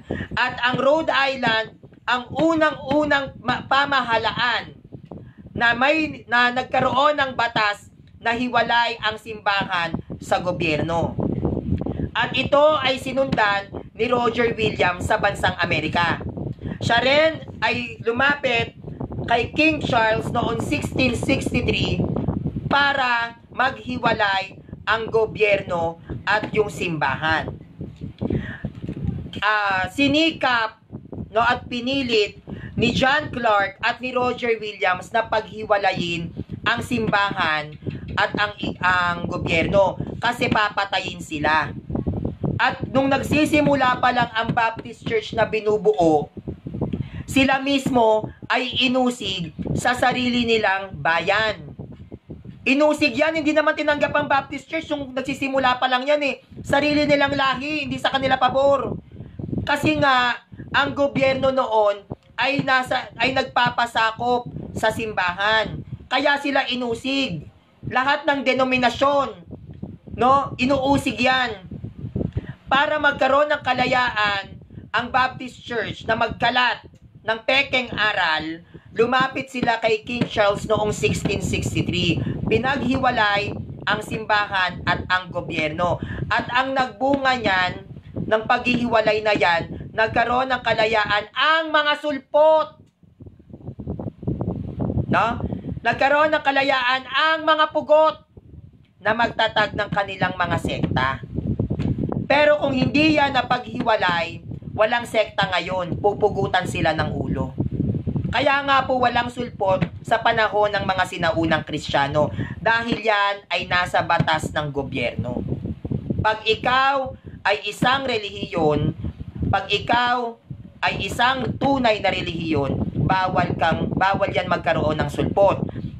Halimbawa, uh, relihiyong Islam, bawal ang sulpot sa Islam. Kasi batas yan ng gobyerno. Basta relihiyon ka, Kagaya ng Judaism, bawal ang sulpot dyan. Bawal. Kaya nung naging relihiyon ang Kristiyano, bawal ang sulpot na katoliko. Bawal kang katoliko kagagawa ka ng sekta mo. Bawal yon. Uusigin ka ng mga gobyerno. Kaya nga tayo ang true church. Pero dahil kay John Clark at kay Roger Williams, no, ipinagpilitan nila na maghiwalay ang iglesia at ang gobyerno. Nang sa gayon, malaya na makapagtatag ng kanya-kanyang sekta ang mga sulpot na ito. Kaya sila nagkaroon ng sekta. Pero noon, wala yan. Ngayon, dito tayo sa bagong tipan o New Testament. Ang bagong tipan o New Testament ng Baptist Church, ito ay ay uh, nakasalin sa wikang Choctaw. No? Kung makikita ninyo ang original New Testament translations ng mga Baptist, yan ay hango sa wikang Choctaw. No? Kung at tayo, ang New Testament natin ay hango sa Greek, no, at sa Aramaic, ang New Testament naman ng Baptist Church, na translation ha, kasi sa atin yung compiled. Magkaiba yung compiled sa translations. Yung translations, original translations naman ng ng mga Baptist ay hango sa wikang Choctaw. No? Pin Chitokaka P. Okshalinchi Jesus Christ. Sa mul namula sa testament ng Himona. No? Kaya ang translations ng New Testament nila noon hango sa wikang Choctaw. Ngayon, isinalin ang bagong tipan ng Baptist Church mula sa wikang Choctaw ni na Alfred Wright at Cyrus Brinton noong 1848 sa ilalim ng New York American Bible Company 1848. Si Alfred Wright at si Cyrus Byington, sila ay mga profesor ng wikang Choctaw. Kasi, syempre, meron mga sinaunang ano eh, Baptist eh. Yung mga sinaunang Baptist nila, yung kanilang New Testament nasa wikang Choctaw. At ito ay translate no, ni Alfred Wright at Cyrus Byington noong 1848 sa ilalim ng New York American Bible Company. Now, maraming American Baptist ang kumikilala kay Roger Williams taong 1603 hanggang 1683. Bilang founder ng Baptist Church sa Amerika, at siya din ang nagpasimula sa Amerika ng paghihiwalay ng simbahan at estado. Itinatag ni Roger Williams ang kolonya ng Providence Plantation noong 1636. So, etong si ano, si si Roger Williams bilang isang American Baptist, marami ang kumikilala sa kanya. Kaya yung nagsasabi na si Roger Williams ay peke huwad na Baptist, lalabas ang mga American Baptist. Maraming American Baptist ngayon eh, mga pekeng Baptist yan. Samantalang itong si si Roger Williams ay theologian ng Baptist Church mula sa particular Baptist na siyang kumakatawan sa tradisyon ng mga Baptist. Sa kanya nagpasimula ang paghiwalay ng simbahan at ng estado. At si Roger Williams din, no, ang ang kolo ang ang ang kolonya ng Provid uh, tawag nito at si Roger Williams din itinatag niya ang kolonya ng Providence o ang kolonya ng Rhode Island Plantation noong 1636. Marami siyang nagawa. Marami siyang naging ambag. So meron tayong tinatawag na ikalawang Baptist Church o yung what meron tayong tinatawag na uh, Washington Avenue Baptist Church. Ano tong Washington Avenue? Ito yung Second Baptist na naman. No? Ang dami kasi nilang ano denomination sa totoo lang. Kaya nga hindi nyo malalaman sino tunay na Baptist sa kanila. Ang daming nagkanya-kanya talaga sila. Sa totoo lang, kanya-kanyang tatag ito, kanya-kanyang trip, walang pakilamanan. Ganon yung naging sistema sa ilalim ng Baptist Church. Meron silang tinatawag ng Washington Avenue Baptist Church. Itong Washington Avenue Baptist Church, ito ay itinatag noong 1868. Ito ay isang makasaysayang African-American congregation at ito ay orihinal na kinikilala bilang Second Baptist Church. At ito ay pinalitan at binago ang kanya ang pangalan ng Second Baptist Church bilang Washington Avenue Baptist Church noong taong 1886 na ngayon ay matatagpuan sa National Avenue at muli na namang pinalitan ang pangalan nito noong taong 2014 bilang Turning Point Church. No? So itong Washington Avenue Baptist Church, no, ang kanyang unang pangalan ay tinatawag na Second Baptist Church. So, dati siyang Second Baptist Church na ngayon ay naging Washington Avenue Baptist Church na pinalitan na naman ang pangalan na ginawang Turning Point Church. Isa itong makasaysayang African-American congregation ng Baptist. Tignan nyo ultimo sa pangalan. Pabago-bago sila ng desisyon. Pabago-bago ng isip. Bakit? Sapagkat hindi standard ang kanilang doktrina. Kaya nga ang sabi ni Roger Williams, isang Baptist theologian, isang Calvinist theologian na nagtatag ng American Baptist, walang pundasyon ang Baptist Church. Dahil nga, kanya-kanyang trip to. Kung American Baptist ka, diyan ka sa lugar mo magkalat yung mga particular Baptist dito sa Rhode Island, walang pakialam ang American Baptist dyan. Diyan kayo sa Rhode Island magkalat, kanya-kanya tayo. Ganon. Ganon ang way ng mga Baptist Church. Now, dito tayo kung paano ba napunta ang Baptist Church sa Pilipinas. Paano nagkaroon ng Baptist Church sa Pilipinas? Ayon po sa kasaysayan, Hinimok ni Apolinario Mabini ang, gobli- ang gobyerno ng Pilipinas sa pagbuo ng pambansang simbahan. At ito ay ang Roman Catholic Church. Si Apolinario Mabini, no, ah, hinihimok niya, hinihikayat niya ang gobyerno ng Pilipinas noon na gawing national church ang Roman Catholic Church. Kilalaning pambansang simbahan ang Catholic Church noong October 23, 1899. Ngayon, sa, pang- sa mga panahong yon, ang Pilipinas ay nasa ilalim ng kapangyarihan ng Amerika sa ilalim ng Pangulo na si William McKinley noong 1897 to 1901. Yung isinusulong ni Apolinario Mabini na gawing national church ang Roman Catholic Church, ah, hindi ito napatupad. Dahil during that time, tayo ay nasa ilalim ng bansang Amerika. At ang bansang Amerika ay hindi katolikong bansa. Sa ilalim ng Pangulo na si William McKinley noong 1897 hanggang 1901. So hindi yan pinayagan. Kaya hindi tayo naging pambansang simbahan. Apolinario Mabini pa mismo ang nags- sa mga sa gobyerno ng Pilipinas na gawing pambansang simbahan ang Roman Catholic Church. Kaso ayaw ng ni William McKinley kasi ang bansang Amerika ay hindi katolikong bansa. No?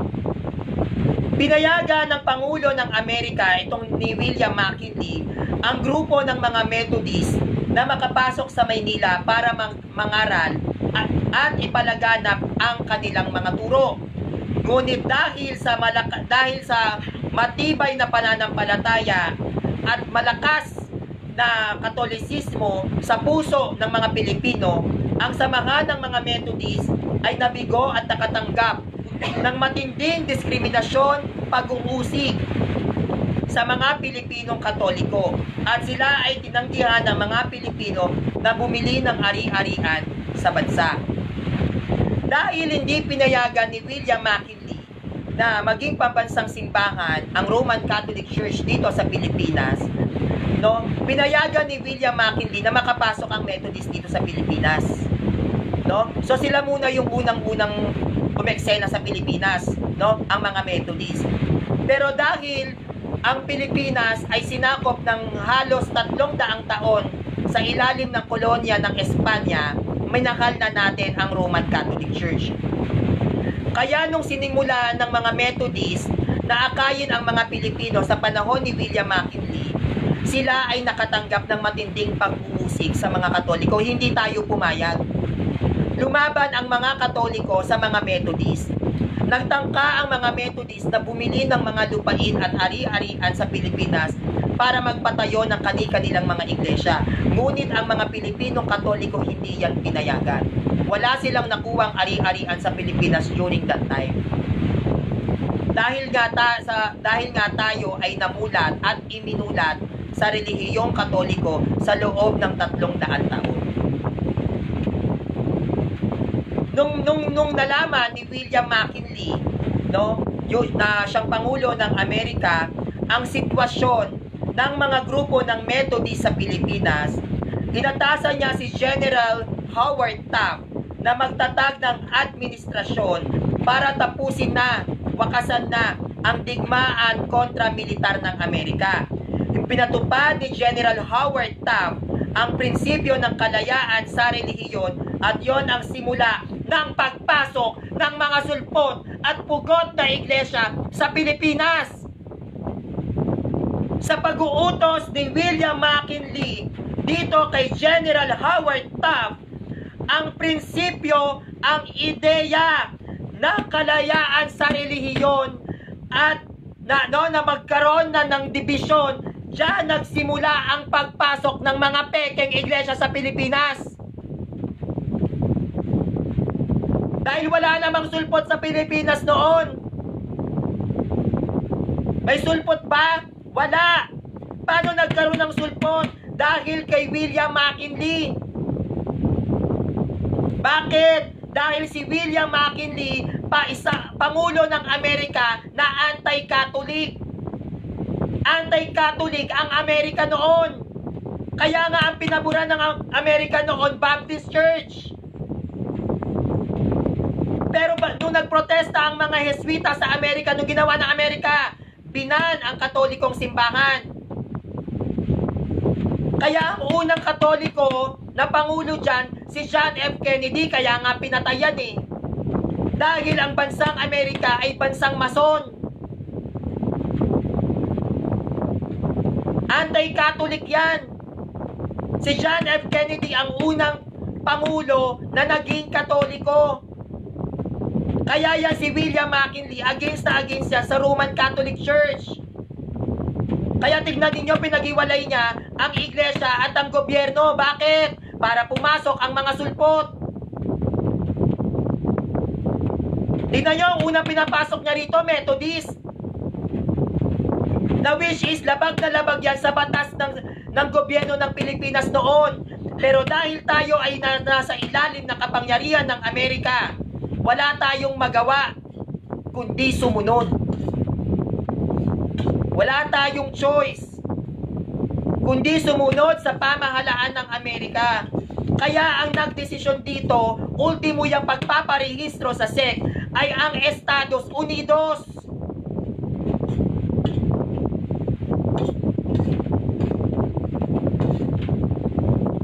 Okay. Ang mga preacher o yung mga mangangaral na sina Reverend Eric Land at engineer at isang engineer na kilala nila si ano si Brawi ano si Bra si Brolio Manikan. Etong si ano si Brolio Manikan na ito, siya ang kauna-unahang pastor na Pilipino sa Pilipinas. Si Brolio Manikan ay kauna-unahang pastor sa Pilipinas at sila ay dumating noong April 26, 1900s dito sa Maynila. At nung sila ay nakarating sa Maynila, sila ay nagtungo sa mga kanluraning Visayas. Hanggang sa marating nila yung Panay. Probinsya ng Panay noong May 3, 1900. At sa kanilang unang linggo, no? Ang kanilang unang naakay o na-convert ay si Mr. Lopez. Sila ay nangaral sa Panay ng siyam na buwan hanggang sa naitaguyod nila ang pangangaral at nakaakay ng 30 miyembro noong February 1901. No? So nakaakay sila, ang unang naakay nila sa kanilang sekta, si si Brolio Manikan, siya ay isang Baptist. No? Si Brolio Manikan, siya ay isang Baptist. At sila, yung naraka, nung, nung nakarating sila ng Maynila at, at lumibot sa mga kanluraning Visayas hanggang sa Panay, meron silang unang naakay, 30 Baptist na members. At ito ay kanilang nabinyagan noong February 1901. Ang sabi ni Kevin Abrio, wala pang sect na Romano Katoliko sa panahon ni Kristo. Kaya ni Jesus na magligtas ng tao. Kaya wag nyo angkinin na hindi maliligtas. Kevin Abreu, hindi maliligtas ang mga sekta. Tanga. Kapag ikaw ay sekta, proud ka pa. Hindi kahit kailan nire-rehistro sa gobyerno ang pananampalataya mo sa Diyos, tanga.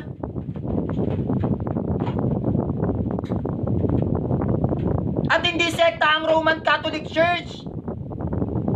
Hindi kami nakarehistro sa sekta, tanga. Ano ano na naman yung pinagsasabi mo dyan, Kevin Abrio? Lalo na yung kinaaniban mong Mormon. Hindi ka maliligtas dyan. Kailan naging Amerikano si Kristo? Takatanga mo. Huwag niyong angkinin na hindi na hindi maliligtas ang ibang sekta, tanga. Basta sekta ka, wala kang ligtas. Saan mababasa? Sige nga, sa Biblia. na ang pananampalataya mo sa Diyos dapat irehistro mo sa gobyerno? Sino ba dapat ang makaalam ng pananampalataya mo? Ang Diyos o ang gobyerno? Ang pananampalataya mo, nakarehistro lang yan dapat sa simbahan para matawag kang relihiyon. Pag ang pananampalataya mo, nakarehistro sa gobyerno, hindi ka relihiyon, tanga, negosyo ka. Incorporated ka, incorporation. Pananampalataya mo, irerehistro mo sa gobyerno? Di ka ba naman tanga? Dito tayo. Pagpasok ng Baptist Church sa Iloilo City.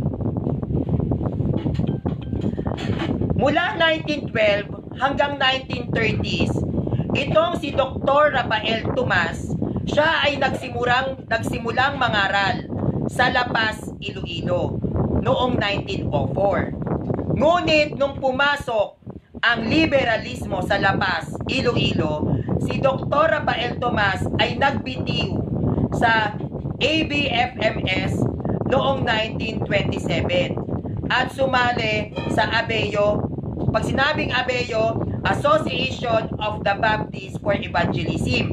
Itong si, si Dr. Rafael Tomas, siya ay dating kasali sa ABFMS. Ano tong ABFMS na to? Association of Baptists for World Evangelism. Yung umalis siya rito sa ABFMS noong 1927, siya ay sumali sa ABEO o ABEO na tinatawag na Association of the Baptists for Evangelism in the Orient. No? At sinimula ni Dr. Rafael Tomas ang Dowan Evangelistic Institute sa Iloilo City noong 1923. Si Dr. Thomas, nung nakarating sa Maynila, siya ay naging agresibo sa pangangaral noong 1921 at nagtatag ng isang uh, gawain noong 1920. So, si Dr. Rafael Tomas, siya ay dating kaanib no, ng Association of Baptists for World Evangelism. Siya ay umalis doon. No? Umalis doon at siya ay sumali naman sa isa pang Baptist na tinatawag na Association of the Baptists for Evangelism. So nagpalit siya. No? At nung sumali siya rito, siya ay uh, sinimula ni Dr. Rafael Tomas ang Dowan Evangelistic Institute sa Iloilo City noong 1923. No, nagkaroon siya ng ng parang grupo na tinatawag na Dowan Evangelistic Institute dito sa Iloilo City noong 1923. At nung siya ay nakarating sa Maynila, mas lalo siyang naging agresibo. No? Mas lalo siyang naging palaban sa pangangaral noong 1929 at nagtatag siya sa ng isang gawain noong 1920. Sabi ni Kevin Abrio, Baptists who serve the Lord are also saved. Mali! Mali! Ba Baptists who serve the Lord are also saved. Mali! Hindi ka maliligtas pag mali doktrina mo. Anong tingin nyo sa ano? Anong tingin nyo kay anong tingin nyo sa turo ng ano ng mga alagad? Maraming simbahan? Isa lang ang simbahan tatag ni Kristo. Pag hindi ka tatag ni Kristo, wala kang kaligtasan. Anong Baptist who serve the Lord are also saved, Kevin Abreu? Ibig sabihin ng Mormons, ligtas? Ang INC ligtas? Isa lang ang simbahang tatag ni Kristo, Roman Catholic Church. Kung di ka katoliko, sa impyerno ka. Tanga nito. Okay. Sa pamamagitan ng mga naitatag sa pamamagitan ng mga naitatag na ministeryo ni Dr. Rafael Tomas, siya ay nagpadala ng tatlong lokal na pastor sa Palawan noong 1931 at marami pa siyang ipinadala ng mga lokal na pastor para mangaral sa mga bahagi ng timog ng Iloilo. No? Ngayon, yung meron ng nabuong ministeryo sa Iloilo, itong si Dr. Rafael Tomas, nagpadala siya ng tatlong pastor na lokal sa Palawan noong 1931. At nagpadala pa rin siya ng iba't ibang mga pastor naman dito sa bahagi ng timog ng Iloilo. Doon naman niya ikinalat ang baptist sa bayan ng Iloilo. Kaya noong 1935, narating ni Dr. Rafael Tomas ang Masinlok Sambales sa pamamagitan ni Ginoong Eba noong 1937 sa lalawigan ng Rizal. At dito nagsimula mangaral ang mga evangelist kometa sa Baras. At si Pedro Angkahan ang unang nagbalik loob at hindi nagtagal, siya ay naging ministro ng Baptist Church. At kanyang sinimulan ni, at sinimulan ni Pedro Angkahan ang kanyang pangangaral dito sa Teresa at Kisaw Pililya na may tatlong nabinyagan noong 1938 sa bayan ng Apa sa bayan ng ah, noong, noong 1938. Ngayon, sa bayan naman ng Apayan, ng Apayaw, no, sa lugar ng, ng Apayaw naman, si Dr. Cooley noong 1938, dito naman siya nagkalat ng Baptist. Ang gawain ay naitatag sa Mount Province ni Reverend Fisk. Ang kanilang samahan ay kilala bilang ABWE. Ano tong ABWE? Association of Baptists for World Evangelism. Ito ay mabilis na nakilala sa buong Pilipinas. No? So, lilinawan ko ha, kasi maraming taong involved. Sabi ko sa inyo, medyo mahirap. Noong 1935, nung narating ni Dr. Rafael Tomas, yung, ma, yung Masinlok Sambales, no, sa tulong ni Ginoong Eba, noong 1937, ah, sa tulong ni Ginoong Eba, itong si Ginoong Eba, tinulungan niya si Dr. Rafael Tomas na makarating sa, na, sa Masinlok Sambales noong 1935. Ngayon, noong 1937 naman, dito sa bayan ng Rizal, dito naman nag, nag, nagsimulang mangaral ang mga tinatawag na evangelist kometa no, sa Baras Rizal.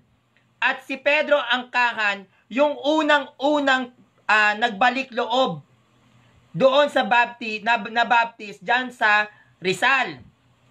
At hindi nagtagal, itong si Pedro Angkahan, siya ay naging isang ministro ng Baptist Church. At nung siya ay naging ministro ng Baptist Church, sinimulan ni Pedro Angkahan ang pangangaral sa ilalim ng Baptist Church dito sa bayan ng Teresa at Kisaw at Pililya Rizal. No? At meron siyang naakay rito na tatlo. At tong tatlong naakay niya ay nabautismuhan noong taong 1938.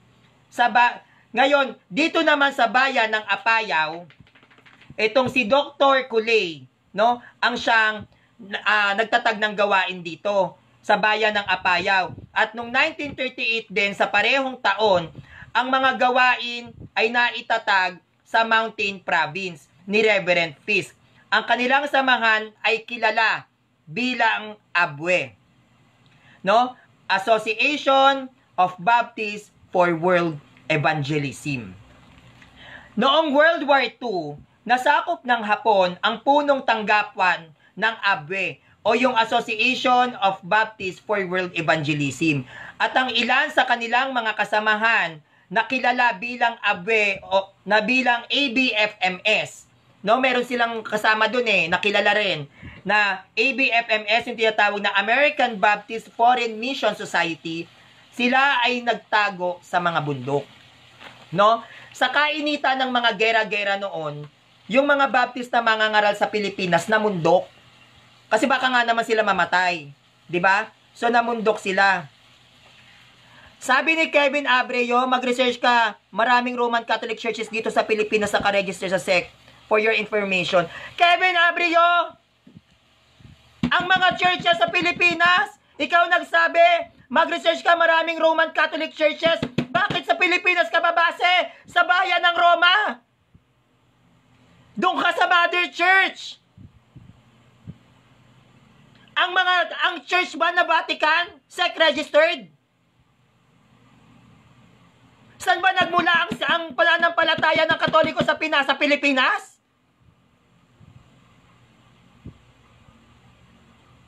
Ang Mother Church ng Mormons, naka-registered yan. Hindi mo alam? Kapag ang Mother Church mo nakarehistro sa SEC, ganun din ang mga sanga. Bakit naka, ang nakaregister dito sa Pilipinas, ha, mga constitutions, mga institute ng simbahan, mga organization. Hindi ang pananampalataya namin. Kayo, ang, ang mga constitutions ninyo at ang mga faith ninyong mga sulpot kayo nakarehistro sa sekta. Dahil ang mother church nyo nakas, nasa sect registered. Roman Catholic Church dito sa Pilipinas, mag-research ako, tanga ka ba? Salitang Roman Catholic, saan ka dapat babase, Roma? Napakatanga mo. Magre-research ako, Roman Catholic Church sa Pilipinas? Salitang Roman. Saan ka magre-research? Roma. Taga-Roma ba ang Pilipinas? Nasa Europa ba ang Pilipinas? Ang i-research mo kung sect registered ba ang Roman Catholic Church? San mo saan ka babase? Sa Roma. I-check mo yung Vatican. Kung sect registered. Ang daladala ng mga simbahan dito sa Pilipinas ay titulo na nasa Roma.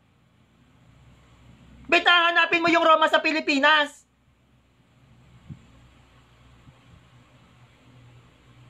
Ang pananampalataya namin ay galing sa Roma. Kevin Abreu, wag kang sinungaling. The Church of Jesus Christ na kinaaniban mo, ang nagtatag niya nooy, si John Smith. Ano founder nyo si Jesus Christ? Jesus Christ mo mukha mo. Si John Smith ang nagtatag sa inyo. Ano, ano, anong founder nyo si Jesus Christ, Jesus Christ? Mukha mo, Jesus Christ. Ba't kinakahiya mo yung nagtatag ng Church of Jesus Christ? Ang nagtatag niya si John Smith, sasabihin mo si Kristo? Nek-nek mo. Huwag ka nga maglalatag rito ng mga fake news, ha?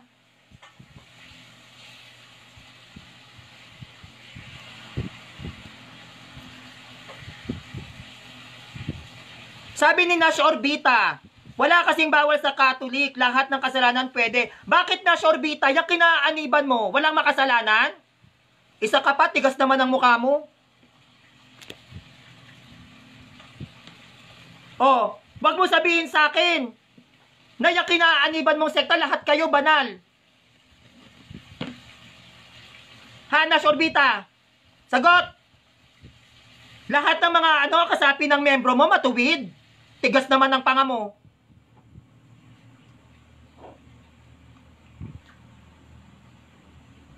Oh, ano, sagot na, Sorbita. Ang sabi mo, wala kasing bawal sa Katolik. Lahat ng kasalanan pwede. Bakit? Lahat ba ng membro ninyo matuwid? Tigas, ng, tigas naman ang bagang mo. Ang mga ang kasalanan ng mga kaanib ng Iglesia Katolika, no, lagi-lagi yan pinaaalala ng simbahan. Pero kahit kailan, hindi kinokontrol ng simbahan ang tao. Bakit kami kokontrolin ng simbahan? Ang Diyos nga hindi kami kinokontrol eh. Binibigyan ng simbahan ang mga kaanib ng kalayaan. Kung ano ang gusto ng aming mga puso. Pero sinasabi ng aming simbahan kung ano ang masama at mabuti. Napakatanga mo na, Orbita. Ano lahat ng kasalanan pwede? Sino pwede, sino pa rin nagsabi sa'yo niyan?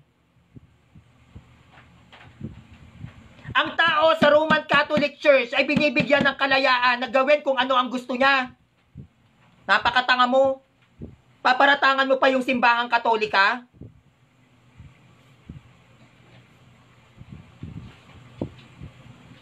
Huwag kang maawa sa akin, Nash Orbita, mas nakakaawa ka. Dahil napakatanga mo.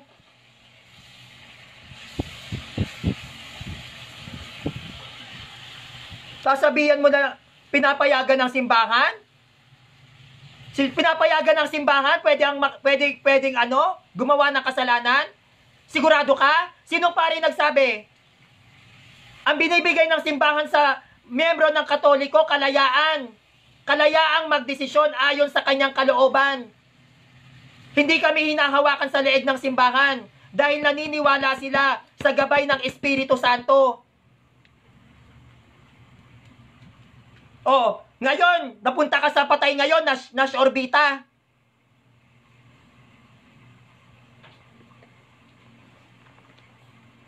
Napunta ka ngayon sa patay. Napakatanga mo. Sino pa rin nagsabi sa'yo niyan? Na, nag, na nagtuturo sa mga katoliko na, sige, gumawa ka ng kasalanan, pwede yan. Dada ka ng dada, wala ka namang mailatag. Pag hindi mo inaral ang doktrina ng simbahan, tahiin mo yung bibig mo.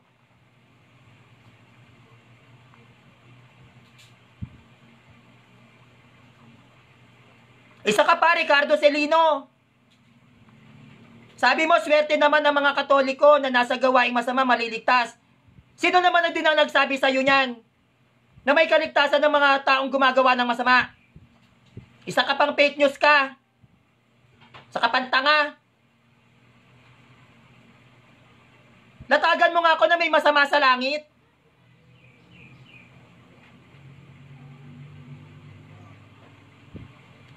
Sige nga.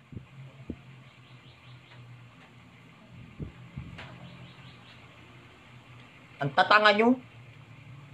Ge, tuloy. Sa bahagi ng Visayas, maraming simbahan ang mga nawasak dahil sa, sa digmaan, no, doon sa World War II. Ngunit patuloy pa din na nanganga, nangaral, no, kahit na maraming nawasak na mga ng simba na mga simbahan, no, ang Baptist, no, maraming mga nawasak dahil nga sa gere, no, patuloy at hindi pa rin tumigil na mangaral tong mga Baptist Church, katulad ni Jose La Torilla noong 1942.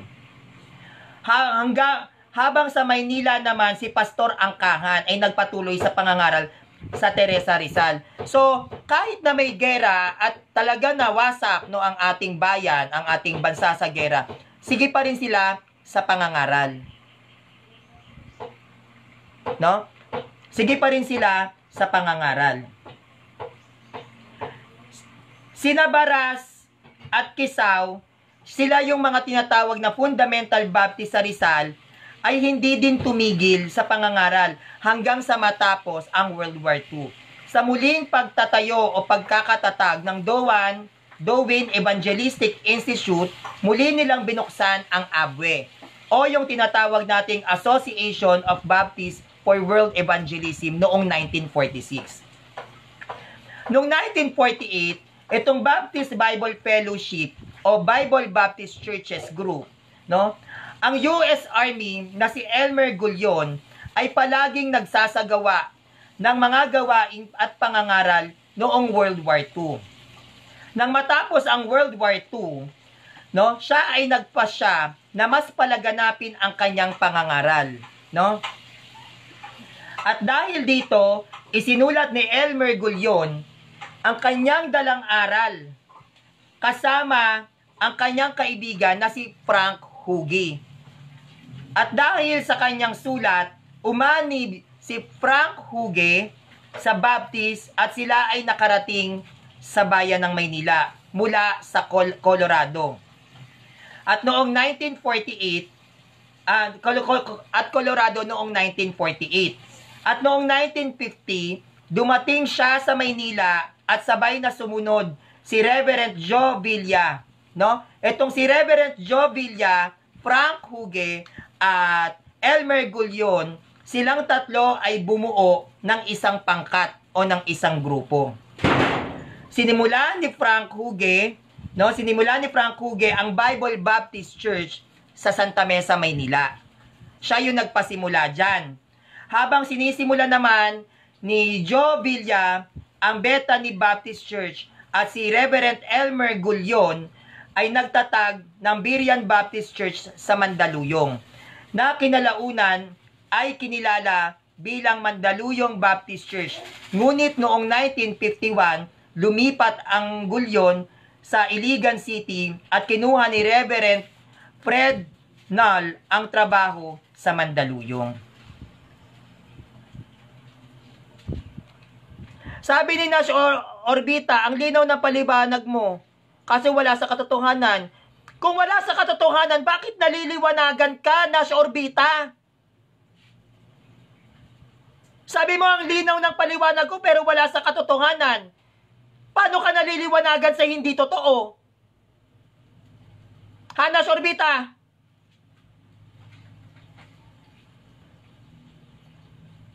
Anong klaseng mindset yan? Naliliwanagan ka? Sa hindi totoo? Sulpot ka nga talaga. Kahit kailan hindi pwedeng magkaroon ng liwanag ang hindi totoo. Kahit kailan hindi pwedeng maging malinaw ang hindi totoo. Pero ikaw, anong sabi mo na, Sorbita?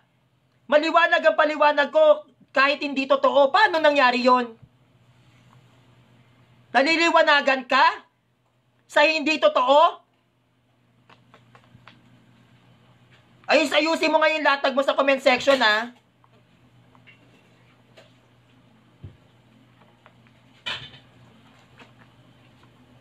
Kayong mga sulpot na nandito, iyak lang. Malaya kayong umiyak. Okay. Kaya lagi po nating tatandaan na ang aral ng Baptist Church no sa Kisaw, ito ay nagsimula noong 1956 sa ilalim ng produkto Victorino ng Mandaluyong BBC. Isinaayos ang Kisaw noong 1961 at ang unang pastor ay si Seleno. No, siya yung unang pastor. Marami pang misyonero ang dumating para mangaral. Tulad, tulad ni Reverend Howard Kinlao noong 1950 sa Angeles at Olongapo. Si Reverend Woosley naman ay nagtayo ng Bethany Church sa Makati. Noong 1952, si Reverend Bob Huge ay nagtatag noong 1956. Siya naman ay nagtatag ng Baptist at isa siyang pioneer ng Cebu. Reverend Bill Anderson, Reverend Richard Scott, Reverend Joseph Boyd, Floyd Leo, Iowas noong 1966 sa Walter Binney at si Reverend Damon Woods 1958 sa Baguio. Si Dave Steffi sa Butuan noong 1959 at si Reverend Lloyd Baker sa Pasig at sa Bicol. Si Reverend Delbert Huge noong 1967 at si Reverend Bob Phillips noong 1973. Si Reverend Dins Ebert nakakuha ng Baptist Church sa Mandaluyong noong 1977. Kaya malinaw, marami pong pastor ng Baptist ang nag ang ang nagpunta sa iba't ibang bahagi ng Pilipinas para magtayo ng kanya-kanyang mga churches. At ito naman yung mga pastor na kinikilala ng mga Baptist dito sa Pilipinas na meron daw malaking naiambag sa kanila. Gagaya ni Wen Celiano, Abraham Victorino, Abraham Baliega, Pastor Abante Senior, Marcelino Arias, Enrique Pajardo, Renato Morada, Ludi Tamion, Pastor Mercado, Arena uh, Mahinay at si Ernie Hesalba. Ito yung mga pastor na Baptist sa Pilipinas na kinikilala nila na may malaking naging kontribusyon no, sa kanilang kinaaniban. Noong 1948, nagkaroon ng Southern Baptist Convention. Dumating ang mga misyonero mula China at tumira sa Baguio. Ang ilan sa mga misyonero ng Baptist ay sina Miss Fern Harrington, Miss Margaret Collins, Dr. Clyde Jowers, Dr. and Mrs. Robert Ricketson. Ganun din sa panahong tao, sa parehong taon noong 1948, nagkaroon sa Pilipinas ng Conservative Baptist Association. Ang paghihiwalay ng Northern Baptist sa Amerika ay nagsimula noong 1947. Ngunit noong 1948, dumating sa Pilipinas ang Conservative Baptist Association sa pamamagitan ng dalawang hindi kilalang mag-asawa na nagtrabaho sa ilalim ng ABWE o Association of Baptist World Evangelism. Noong una, ang mga misyonerong ito ay nagtrabaho kasama ang mga interdenominational na grupo tulad ng Far East Gospel Crusade at ang Far East Bible Institute Seminary naman na kilala bilang Fabias. Ito ay pinamumunuan ni William Simmons at noong 1980s itinigil na nila ang paggamit ng salitang Baptist.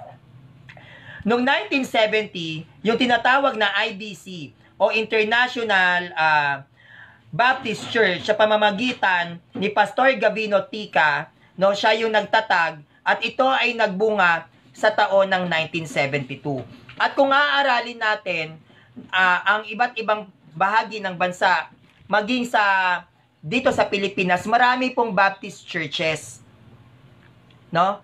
Marami pong Baptist churches na na naitatag at meron silang kanya-kanya at iba't ibang paniniwala. No?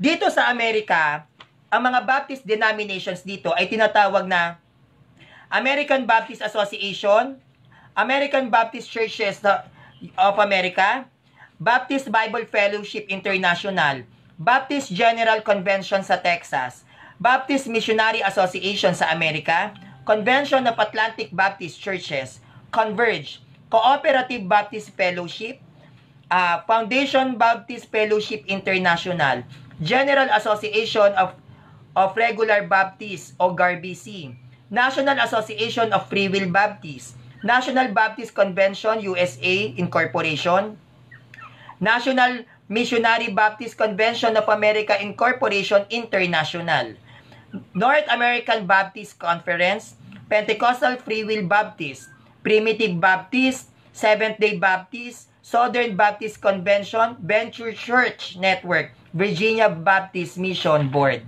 Yan po ang mga denominations na Baptist sa bansang Amerika. At yan po ay may kanya-kanyang doktrina. Magkakaiba yan. Hindi po sila pare-pareho, no? Ito naman ang iba't ibang uri ng Baptist sa bansang Pilipinas. Kumuha rin po ako ng mga ibang mga naitatag na Baptist dito sa Pilipinas na may iba't iba din po na na aral. Kanya-kanya silang aral. Aklan Reformed Baptist Church na matatagpuan sa Cipriano Road, Estancia, Calibo, 5600 Aklan, Philippines. Cubao Reformed Baptist Church, 21 Harvard Street, Cubao, Quezon City, Philippines. Divine Grace Bible Church, ang pastor si Domingo Fidel, 22 Lucel Street, San Sebastian Village, Tarlac, Tarlac, Philippines. Grace Baptist Church of Los ba of Los Baños, Philippines. Ang pastor ay si Noel Esp- Espinosa, 6220 ay 6521 Junction Road, San Antonio, Los Baños, Laguna, 4030 Philippines. Grace Community Church. Pastor Balakwa Jerry, 32K lot 32K-105 Street, Karangalan Village, Phase 2A, Pasig City, Philippines. Grace Community Church, ang pastor ay si Kito Balatbat, 256 Kaparangan, Orani, 2112 Bataan, Philippines. Grace Covenant Baptist Church, ang pastor ay si Regencia Jerry. Iligan City, Philippines 9200, number 69 Lasal Street, Villaver Villaverde, Ilagan City, Philippines 9200. Grace Line Bible Ministry, KE 39, Cruz La Trinidad, Benguet, Philippines. Reform Baptistic Evangeli Evangelical Creationist Messianic. Meron din tayong tinatawag na Grace Reigns Reform Baptist Church. Mateo Makilang Street, Cordova, Cebu, Philippines. Whole Bible Baptist Church, 173-UF Villa Street, Cebu City, 6,000, Philippines. Kinalangay Community Bible Church. Kinalangay Malinaw, 5606, Aklan, Philippines.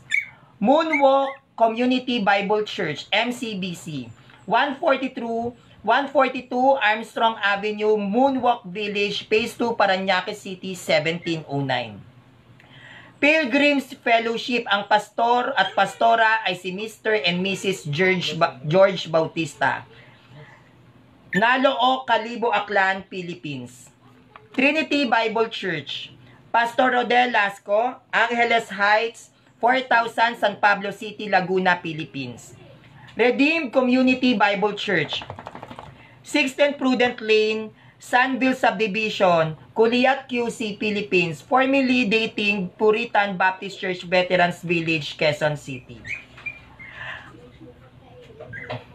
Kevin Abreu, pagdatapos ko lang ang pag pag natapos ko ang presentation ko sa Iglesia ni Cristo 1914, yung history ng pagkakatatag ng kanilang sekta, isusunod ko yung sekta mo.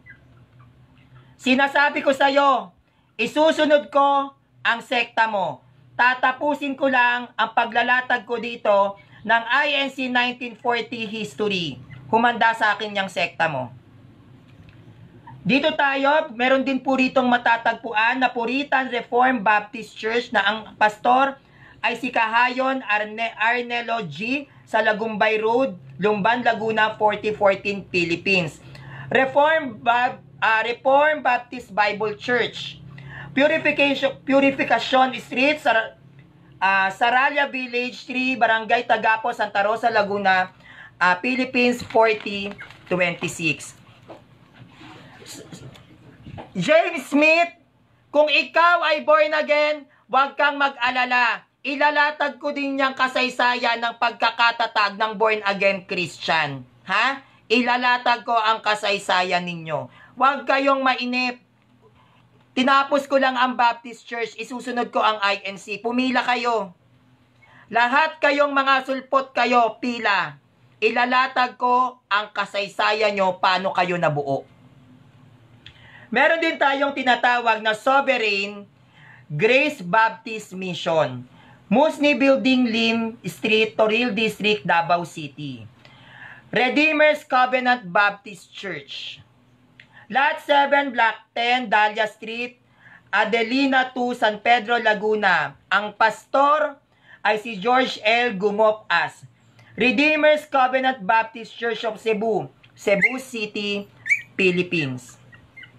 The Foundation Christian Fellowship, Barangay Rojas, Centro, Nakilian, Isabela, 3302, Philippines. Ang pastor ay si Nestor Abuoy.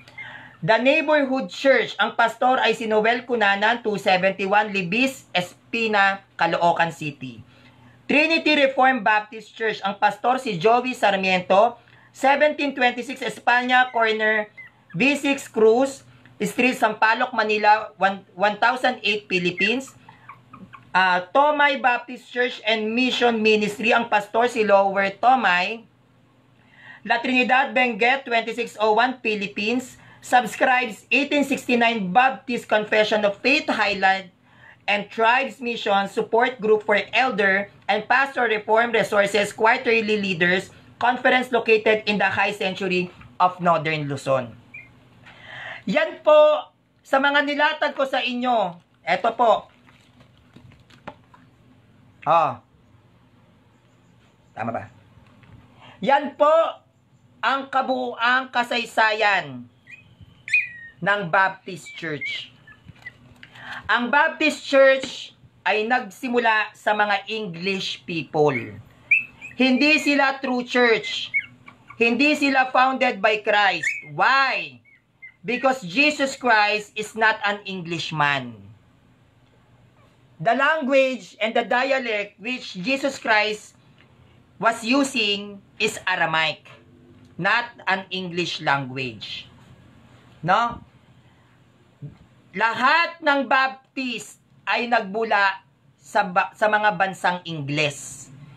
Kaya lahat po ng Baptist, sila po ay sulpot na sekta. No?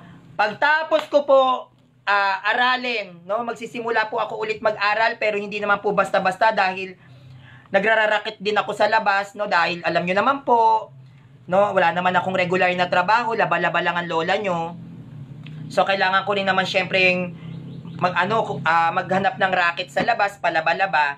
So pakunti-kunti sinusulat ko siya, hindi ko siya hindi ako makapag-concentrate kasi kapag ah, iniisip ko yung yung gastusin ko, tapos iisipin ko kung ano pa yung diwa nung binabasa ko ayon sa kasaysayan. Kaya dahan-dahan ko siya na na inaaral. At ang susunod nating pag-uusapan dito ay ang kasaysayan ng Iglesia ni Cristo ni Felix Manalo. Paano to natatag? Saan nagsimula? Sino yung mga taong involved sa pagkakatatag ng Iglesia ni Cristo? No? Sabi ko nga po sa inyo, ang mga Bible alone, ang mga sola scriptura, yung mga sekta na nakakulong sa Biblia, ang makakapagpabagsak sa kanila kasaysayan ng samahan nila. Kung gusto ninyo pabagsakin ang mga protestante, aralin nyo ang kasaysayan paano sila natatag. dahil sila ay iikot lang sa Biblia. Tayo kasi, hindi tayo pwedeng umikot sa Biblia dahil meron tayong history. At kung iikot man tayo sa Biblia, isa lang din ang magiging pamantayan natin dyan, who compiled the Bible. Sila, dahil ang kanilang pundasyon ng pananampalataya ay nakakulong sa Biblia, para mabutasan nyo yung mga sulpot na yan, aralin ninyo paano sila nagsimulang naitatag. Yan ang gigiba sa mga demonyong anak ni Satanas na sekta. Yung mga tit, yung mga tinatag ni Satanas, yung mga tatag ng demonyo, ang gib, ang makakagiba sa kan, sa kanila, ang alamin ninyo kung paano sila itinatag. Wala po sila, hindi nila pepedeng ilatag dito kung sino ang nagtatag sa Roman Catholic Church. Dahil ang lahat ng standard references, ang nagtatag sa Roman Catholic Church ay si Jesus Christ. Wala silang maibubutas. Unlike tayo, pag nag-research tayo ng standard references, lalantad sino nagtatag sa kanila. At sa ganong pagkakataon, no, dun sila magigiba kailangan ipamukha ninyo na ang mga sektang tatag ni Satanas ay tatag ng mga tao. Dahil ang iglesia na dapat kakaaniban ng isang mananampalatayang kristyano ay dapat tatag ng Diyos. No? Dapat tayo ay nasa tatag ni Kristo. Yan po ang pinaglalabanan bilang mga Kristiyano ang mapatunayan natin na tatag ka ni Kristo. Kaya yung mga sulpot na sekta dito, na, na masyado kayong papansin at paepal, pag nakita ko kayo dito sa comment section, habang ako ay naglalatag, ilalatag ko kasaysayan ng sekta nyo. No? Kevin Abreu, mag-antay ka. Dahil pagtapos ko sa latag ko sa INC, sekta mo ang ilalatag ko. Sabi mo, founder, founder kayo ni Kristo? Eh, ang nagtatag sa inyo si John Smith, Kevin Abreu, sinungaling. No? Sinungaling ka. Kaya para matindigan ko, yang kasinungalingan mo, ako mismo ang magtuturo sa'yo paano na itatag yung kinaaaniban mo. No? Eh, ako mismo ang ang magtutuwid sa sinungaling na dila mo, Kevin Abreu. Tignan ko lang kung makakalusot ka. No? Tignan ko lang kung makakalusot ka, Kevin Abreu. Pag nilatag ko ang kasaysayan ng mga sekta nyo. Tignan ko lang. Mga sinungaling kayong mga tatag ni Satanas. Sektang kinaaniban mo, Kevin Abreu, founded by John Smith. Sasabihin mo si Kristo? Kailan naging Amerikano si Kristo? Sige nga. Mga sinungaling. Ha? Kaya kayo, sige, magsisitas kayo. Tingnan ko lang. Pag nilatag ko ang kasaysayan ng sekta mo, sinasabi ko sa iyo.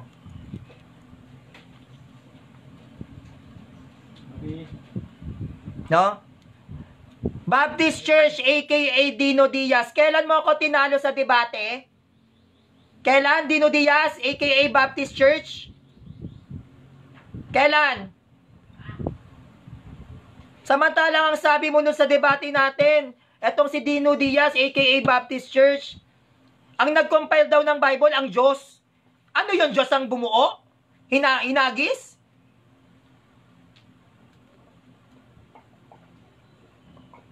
Malinaw ang presentation ko sa history ng Baptist Church magmula sa abroad hanggang sa Pilipinas at yung mga denominations na naitatag ng mga Baptist churches sa bansang Amerika at Pilipinas nilatag ko. May address pa, oy. May address pa ako. Sige nga sa mga sulpot na ito, sino ang may kakayahan na magkaroon ng presentations regarding sa Roman Catholic Church history? Paano yan naitatag? Sige nga. Dino Diaz, kaya mo? Mag-live presentation ka ba, aka Baptist Church? I-present, i ano mo, ilatag mo. Paano nagsimula ang Roman Catholic Church? Hindi nyo kahit kailan pwedeng ilatag ang kasaysayan ng simbahan dahil mabubutasan ang mga sekta nyo. Dahil nung, nung, nung sumisibol ang Roman Catholic Church walang sulpot oy. Walang sulpot. Kaya nga sa lahat ng mga sulpot na sekte, meron bang naglakas loob? Na ilatag ang kasaysayan ng Roman Catholic Church? Wala. Bakit? Kasi wala pa kayo may Roman Catholic Church na.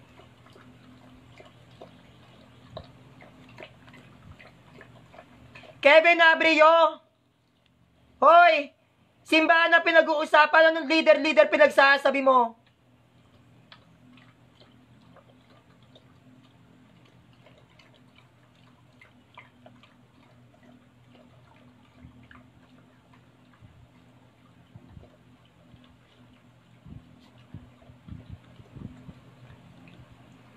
Sabi ni, ni, Bab, ni, ano, ni Baptist Church aka Dino, Diyos ang nag-compile ng kanyang salita. Tanga!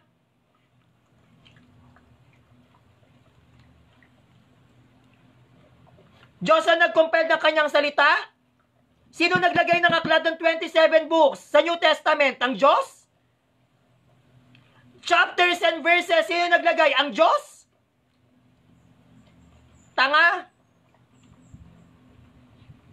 Salita ng Diyos ang kinumpile ng tao sa pamamagitan ng, ng Holy Spirit. Anong Diyos ang nag-compile ng kanyang salita? Tao ang nag-compile ng salita ng Diyos, ginawang aklat, tanga. Kailan nag-compile ng Diyos ng salita niya? Ang salita ng Diyos, kinumpiled ng tao. Ang salita ng Diyos, kinumpiled ng mga early Christians para maging Biblia. Hindi pa pwedeng i-compile ng Diyos ang kanyang salita. Sarili mong salita, i-compile mo. Ang salita ng Diyos, kinumpile ng tao, sinulat. Kaya nagkaroon ng Biblia, tanga Dino Diaz, aka Baptist Church. Anong Diyos ang nag-compile ng kanyang salita? Di ba founder ka ng Baptist sa Iloilo? Dino Diaz. Wag mo sabihin hindi. Dino Diaz, aka Baptist Church. Di ba? Founder ka ng Baptist dyan sa ano, Iloilo? Tapos ang, ang sasabihin mo sa akin, founder ka ng Baptist dyan sa Iloilo? Diyos kinumpel yung salita niya? Ano bang katangahan yan? Ang tao kinumpel ang salita ng Diyos, sinulat. Kaya nagkaroon ng Bible. Paano i-compile ng Diyos yung salita niya? Para mai-compile mo ang salita, dapat mong isulat. Mako-compile mo ba yung salita? Paano mo mako-compile ang salita? Isusulat mo. Sino ang nagsulat? Doon sa salita ng Diyos.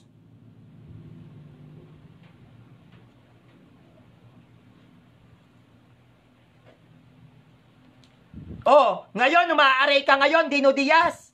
AKA Baptist Church, founder ng Baptist dyan sa Iloilo. Napakatanga mo. Hindi mo pe pwedeng i-compile ang isang salita nang hindi mo isusulat. Sino nagsulat? Para maging Biblia yan. Diyos ang nag-compile ng salita niya? Sure ka?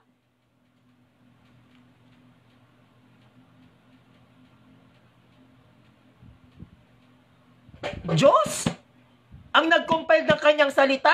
Ano yun? Siya sumulat?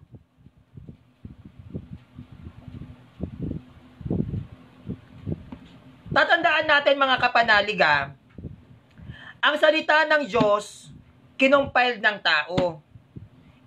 Itong tao na nag-compile ng salita ng Diyos, ito ay na-compile sa pamamagitan ng pagsusulat. Sino ang nagsulat ng ng ng ano, ng salita ng Diyos? Ang mga Katoliko, obispo, pare ng simbahang Katolika. Kaya tayo nagkaroon ng Biblia. Hindi pe pwedeng Diyos ang nag-compile ng Bible. Dahil pag sinabing compiled, sinulat. Hindi pwedeng magsulat ang Espiritu. Nakakapagsulat ba ang Spirit? So yung Spirit na to, yung Spirit na to na which is God, yung kanyang salita, yan ay tinuro niya sa mga tao. Itong mga tao naman na to, yung tinuro ng, ng Diyos, na which is Spirit, isinulat. Nang isinulat ito, hindi yan aklat, scroll. Ginawa yang scroll. Tong mga scroll na to, na which is ang Old Testament, yan ay sinipi ng Roman Catholic Church, na which is Tanak, ay, na which is Torah, na naging Tanak, na naging Septuagint, na tinatawag na Books of Moises. O Old Testament. Itong Old Testament na ito na sinipi ng Iglesia Katolika no sa ilalim ng Judaismo nag, uh, bumuo ang simbahang Katolika ng 27 aklat. Itong 27 books na mababasa natin sa New Testament, ang naglagay dyan ay ang mga pare at obispo ng Iglesia Katolika. Katoliko ang nagdesisyon kung ano ang ilalagay na aklat sa New Testament. Dahil wala pong mababasa sa Biblia na gumawa ka ng New Testament. Ang nagdesisyon para magka-New Testament ang Bible, Roman Catholic Church. Wala kayong mababasa na dapat kang gumawa ng New Testament. Wala kang mababasa. Sabi nga sa Old Testament, Kawikaan at Deuteronomio, huwag mong babawasan ni dadagdagan ng aking salita. Old Testament. Pero bakit kami gumawa ng New Testament? Lahat ng aklat na nasa New Testament na binubuo ng 27 books, ang nagdesisyon sa mga aklat na yan, walang iba kundi ang Roman Catholic Church. At itong mga uh, aklat na ito na nasa New Testament, yan ay hindi hindi yan kinompiled ng Diyos. Yan ay sinulat ng mga disipulo na which is yung mga naka-author sa New Testament. Sinulat yan. At yung mga sulat nila sa pamamagitan ng scrolls, yan ay uh, sinipi at inipon ng Iglesia Katolika. Nung ito ay naipon, yung mga aklat na ito na 300 books yan eh. Yan ay pinagpilian ng mga konseho kung anong mga aklat ang ilalagay at gagawing New Testament. Out of 300 books, 27 books ang napili. Yung apat dito, yung tatlo ay canonical at yung isa ay apocryphal. Four evangelical testaments sa New Testament. Nung ito ay ay sinulat, no, na, na ito ay isinulat ng mga paring katoliko, tsaka siya naging Biblia. Sabi ni Ab- Abner Facturanan, wow, Roman Catholic, ang ang mga pari ang nagpapatay kay Kristo. So, Abner Facturanan, so, tinatanggap mo na kaming mga katoliko ay nandoon pa nandoon na kami sa panahon ni Kristo. Kasi sabi ni Ab- Abner Facturanan, Roman Catholic yung mga pari daw ang nagpapatay kay Kristo. So unang-una, tinatanggap mo. Hindi pa pinapatay si Kristo, may katoliko na. Unang-una yan, Abner Pakturanan. Ikalawa, ano ang katibayan mo na ang nagpapako kay Kristo ay Romano Katoliko? Sige nga. Ano ang katibayan mo? Sa panahon ng si Kristo ay pinapako sa krus, may obispo na ba? May pope na? Nung buhay pa si Kristo, hindi pa namamatay, meron ng pope? Sagot, kasi ang pope ng Roman Catholic Church. It was started, no? It was started patay na si Kristo. Kasi patay na si Kristo nung nakapunta sila ng Roma. Oh, ngayon, kung kung pari ng Katoliko, Abner, Pakturanan, nako, ayoko pa naman mang ano ng matatanda, no? Pero parang tumatanda kang paurong. Kung pari ng Katoliko ang nagpapatay kay Kristo, sino ang Santo Papang umiiral sa panahon nung mga buhay pa si Kristo? Sige nga. Sino? Sinong Santo Papa? Huwag kang maglalatag rito, no, ng mga maling aral. Kasi kahit matanda ka sa akin, bubutasin kita. Sabi ni Ricardo Celino, pagpasensyahan nyo na si paring, pa, si, si paring Rio, puro history alam ikwento. No? Puro daw history lang ang alam kong ikwento. Ang history kinikwento ko ay history ng mga panahong wala pang Biblia. Yung mga panahong wala pang Biblia, Ricardo Celino, nasa ng sekta mo? Sige, sagot. Walang Biblia sa panahon ng mga alagad. Ikaw, James Smith. James Smith, yung mga panahong wala pang Bibliyang nabubuo, nasa ng sekta mo? Sagot. Sagot. Ikaw rin, Kevin Abreu. Yung hindi pa nabubuo ang Biblia, nasa ng sekta mo? Sagot. Nasaan? Nasaan kayo? Yung wala pang Biblia. Ilatag nyo yung history nyo. Sagot.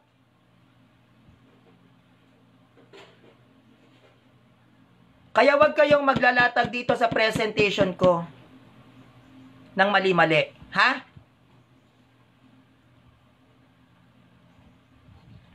Von Ryan Escudra ba? Esquedra. Shout out po. No? Oh, ngayon James Smith na pa-black papa ka ngayon. No, di ba? Kasi wala pa kayo nung hindi pa buo ang Bible. Shoutout kay Tatay Josue Hamodyong sa 70 live viewers, kay Mami Judy Fel Laurente Argoncillo. No, shoutout po sa inyo. So, abangan po ninyo yung mga susunod pa nating presentations patungkol naman sa saysayan ng NC 1914. So, malamang meron na namang mangingisay-ngisay, no? Kay MJ Kaligid, shout out. Dino Diaz, tagal na kitang tinalo. Tatay Julio Valiente, shout out po. Pablo Escobar, shout out. Kay Mami Rhea Moncada Borcelo, shout out. Kay Mami Edeline, shout out. Kay Mami Jasmine Lapian, shout out po. Kay Mami Helen Pawa, shout out. Kay Kuya Wilmer De La Coste, shout out po. Sa 70 live viewers, shout out. Kay Art Shuttle Gabriel Fernando, shout out. Kay Kuya Jepoy Chanel, shout out po, no? So magpapakisay tayo ng mga iglot sa mga susunod naman nating latagan at susunod din natin yung kay Kevin Abreu. No? Kenzie De La Torre, ano ang question mo? kay Kuya Monshing Kaling, kay, kay, kay Tatay Roman Katap, shout out po sa inyo. Si Kenzie De La Torre, may, may tanong daw. Kasi dito sa ano, sa comment section, mabilis yung pag-angat, hindi ko lahat nababasa. Kay Mami Guadalupe Vedania ng Pasay City, shout out po. Hindi po talaga lahat ng mga message ninyo nababasa ko. Sino po nagsulat ng Ten Commandments sa dalawang tipak na bato sa Sinai? Pakisagot. Sabi ni Genesis, Genesis Reyes. Ang Diyos po, utos ng Diyos yan eh. ba? Bakit mo tinatanong?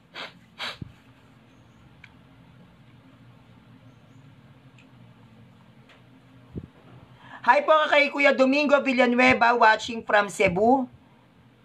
Kay Von Ryan Esquadra, yeah, shout out po sa inyo, no?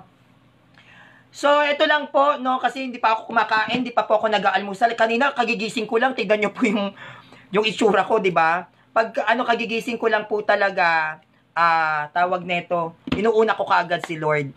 Von Mejias Punzalan, shout out po kay Kuya Reynaldo Soronio Ramos Jr. Grabe makareact ang mga sulpot na to. Oo nga po. Ang bilis! Joaquim Andre Lapian from uh, University, ano?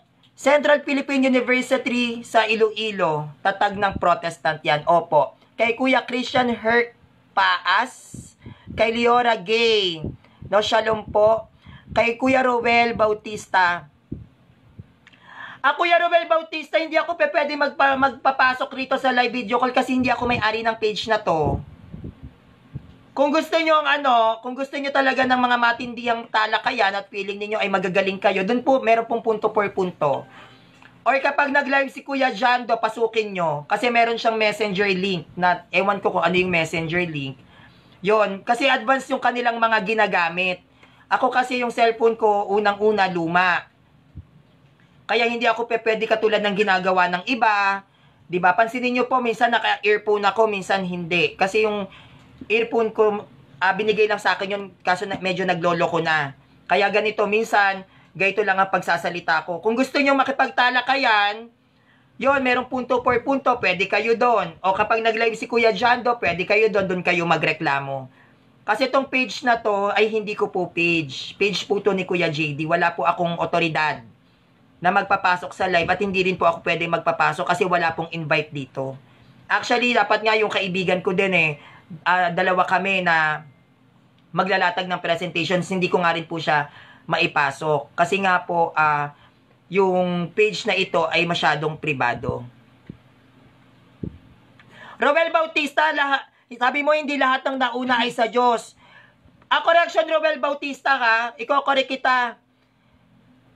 Kinakailangan ikaw ang, ang nagpasimula ng relihiyon mo. Hindi sa Diyos ang sulpot. Lahat ng nauna ay original. Lahat ng nauna ay matatawag na relihiyon. Yes, I agree. Hindi lahat ng nauna ay sa Diyos, kagaya ng Hindu. Sila nagpa, nagpakalat ng pananampalataya ng Hindu, ng mga Buddhist. Pero sila ay relihiyon. Dahil sila ang unang nagpakalat nun. That's why the Roman Catholic Church is a religion dahil kami ang nagpakalat ng Christianity. Sabi mo, Robel Bautista, saan mababasa sa Biblia na kayo ang tunay? Sino ba bumuo ng Biblia bago, bago, bago tayo magbasa? Robel Bautista. Sino nag-compile ng Bible? Yang sitas na ilalatag mo sa akin, sino naglagay ng sitas na ginagamit mo ngayon at gagamitin mo? Sino? Robel Bautista, sagot. Yang sitas na ilalatag mo at sitas na gagamitin mo, sino naglagay niyan? Sagot! Sagot! Bago mo ako latagan dito saan mababasa at latagan ng sitas, sino ang bumuo ng sitas na, il, na nilalatag na ilalatag mo? Sino gumawa ng sitas na ilalatag mo? Sagot!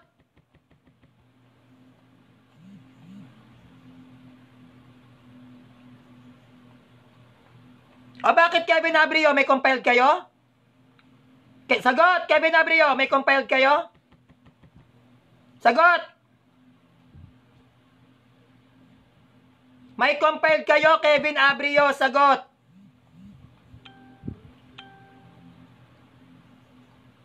Sagot, Kevin Abrio. May compiled? Ano ang compiled ninyo? Sabi ni Kevin Abrio, may compile daw sila. Ano ang kinumpile nyo? Sagot, at anong taon to na compiled? Anong taon to na, anong taon na compiled? Sinong nag-compiled? At saan nyo kinuha ang compilation nyo? Sagot, Kevin Abreu. Sagot! Sabi mo, Kevin Abreu, may compiled Bible kayo. Sino nag-compile ng Bible nyo? Anong taon to na compiled? At sa nyo kinuha ang compilation nyo? Sagot! Roel Bautista, sino ang bumuo ng talata na sinasabi mo? Sagot! Sino ang bumuo ng talata na sinasabi mo? Sabi ni Kevin Abrio, John 1 verse 1, tanga. Sabi mo kayo nag-compile, ilalatag mo sa akin, sitas. Tanga. Kevin Abreu. Shout out kay Ate Princess Naomi Narumi. Napakatanga mo, Kevin Abreu. Sino nag-compile? Anong, nag, anong taon kinompiled?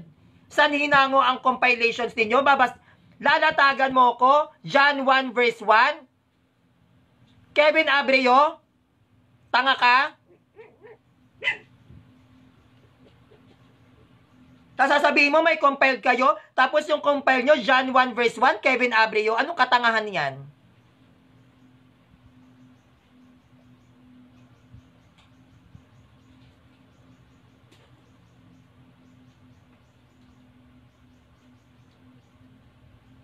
Di ba? So ito lang po ang ating presentation for today. Please subscribe on my YouTube channel, Sanrio TV. Yan po ang kabuang kasaysayan ng Baptist Church. Kung paano sila nabuo, saan sila kumalat, paano sila nagkalat, at ano ang nangyari sa iba nilang mga kaanib. At nawa po, ah, nag-enjoy kayo sa kasaysayan na inilatag ko sa inyo for today. Yan po ay pinaghirapan kong aralin sa loob ng tatlong araw. No, at yan po talaga ay dedicated ko sa mga kapanalig kong katoliko. At iisa-isahin nating pag-aaralan at tatalakayin ang kasaysayan ng iba't ibang mga protestanteng denominasyon kung paano sila naitatag. No? Kung paano sila naitatag. Tuturo ko sa inyo kung saan sila nagsimula, anong taon, kailan, at sino ang mga naging bahagi ng pagkakatatag ng mga sekta nila na tatag ni Satanas. Pag-uusapan po natin yan. No? So yun lang po for today. Maraming maraming pong salamat sa mga sumusuporta po sa akin, ah, sa mga walang sawa no na na nakikinig sa nilalatag ko kahit na nabibingin na kayo sa lakas ng boses ko. Maraming maraming pong salamat. At ah, pag natapos ko na po yung ano, yung history ng Iglesia ni Cristo, ipapaalam ko naman po sa inyo. And for sure, mag-enjoy na naman kayo sa ating talakayan patungkol sa the history of the Iglesia ni Cristo founded by Felix Manalo Isagun. Yun lang po and God bless you no sa ating lahat no. Maraming maraming pong salamat at kakain na po ako. Gutom na gutom na po talaga ako kanina patinitiis ko lang. Salamat po. Maraming maraming pong salamat mga mami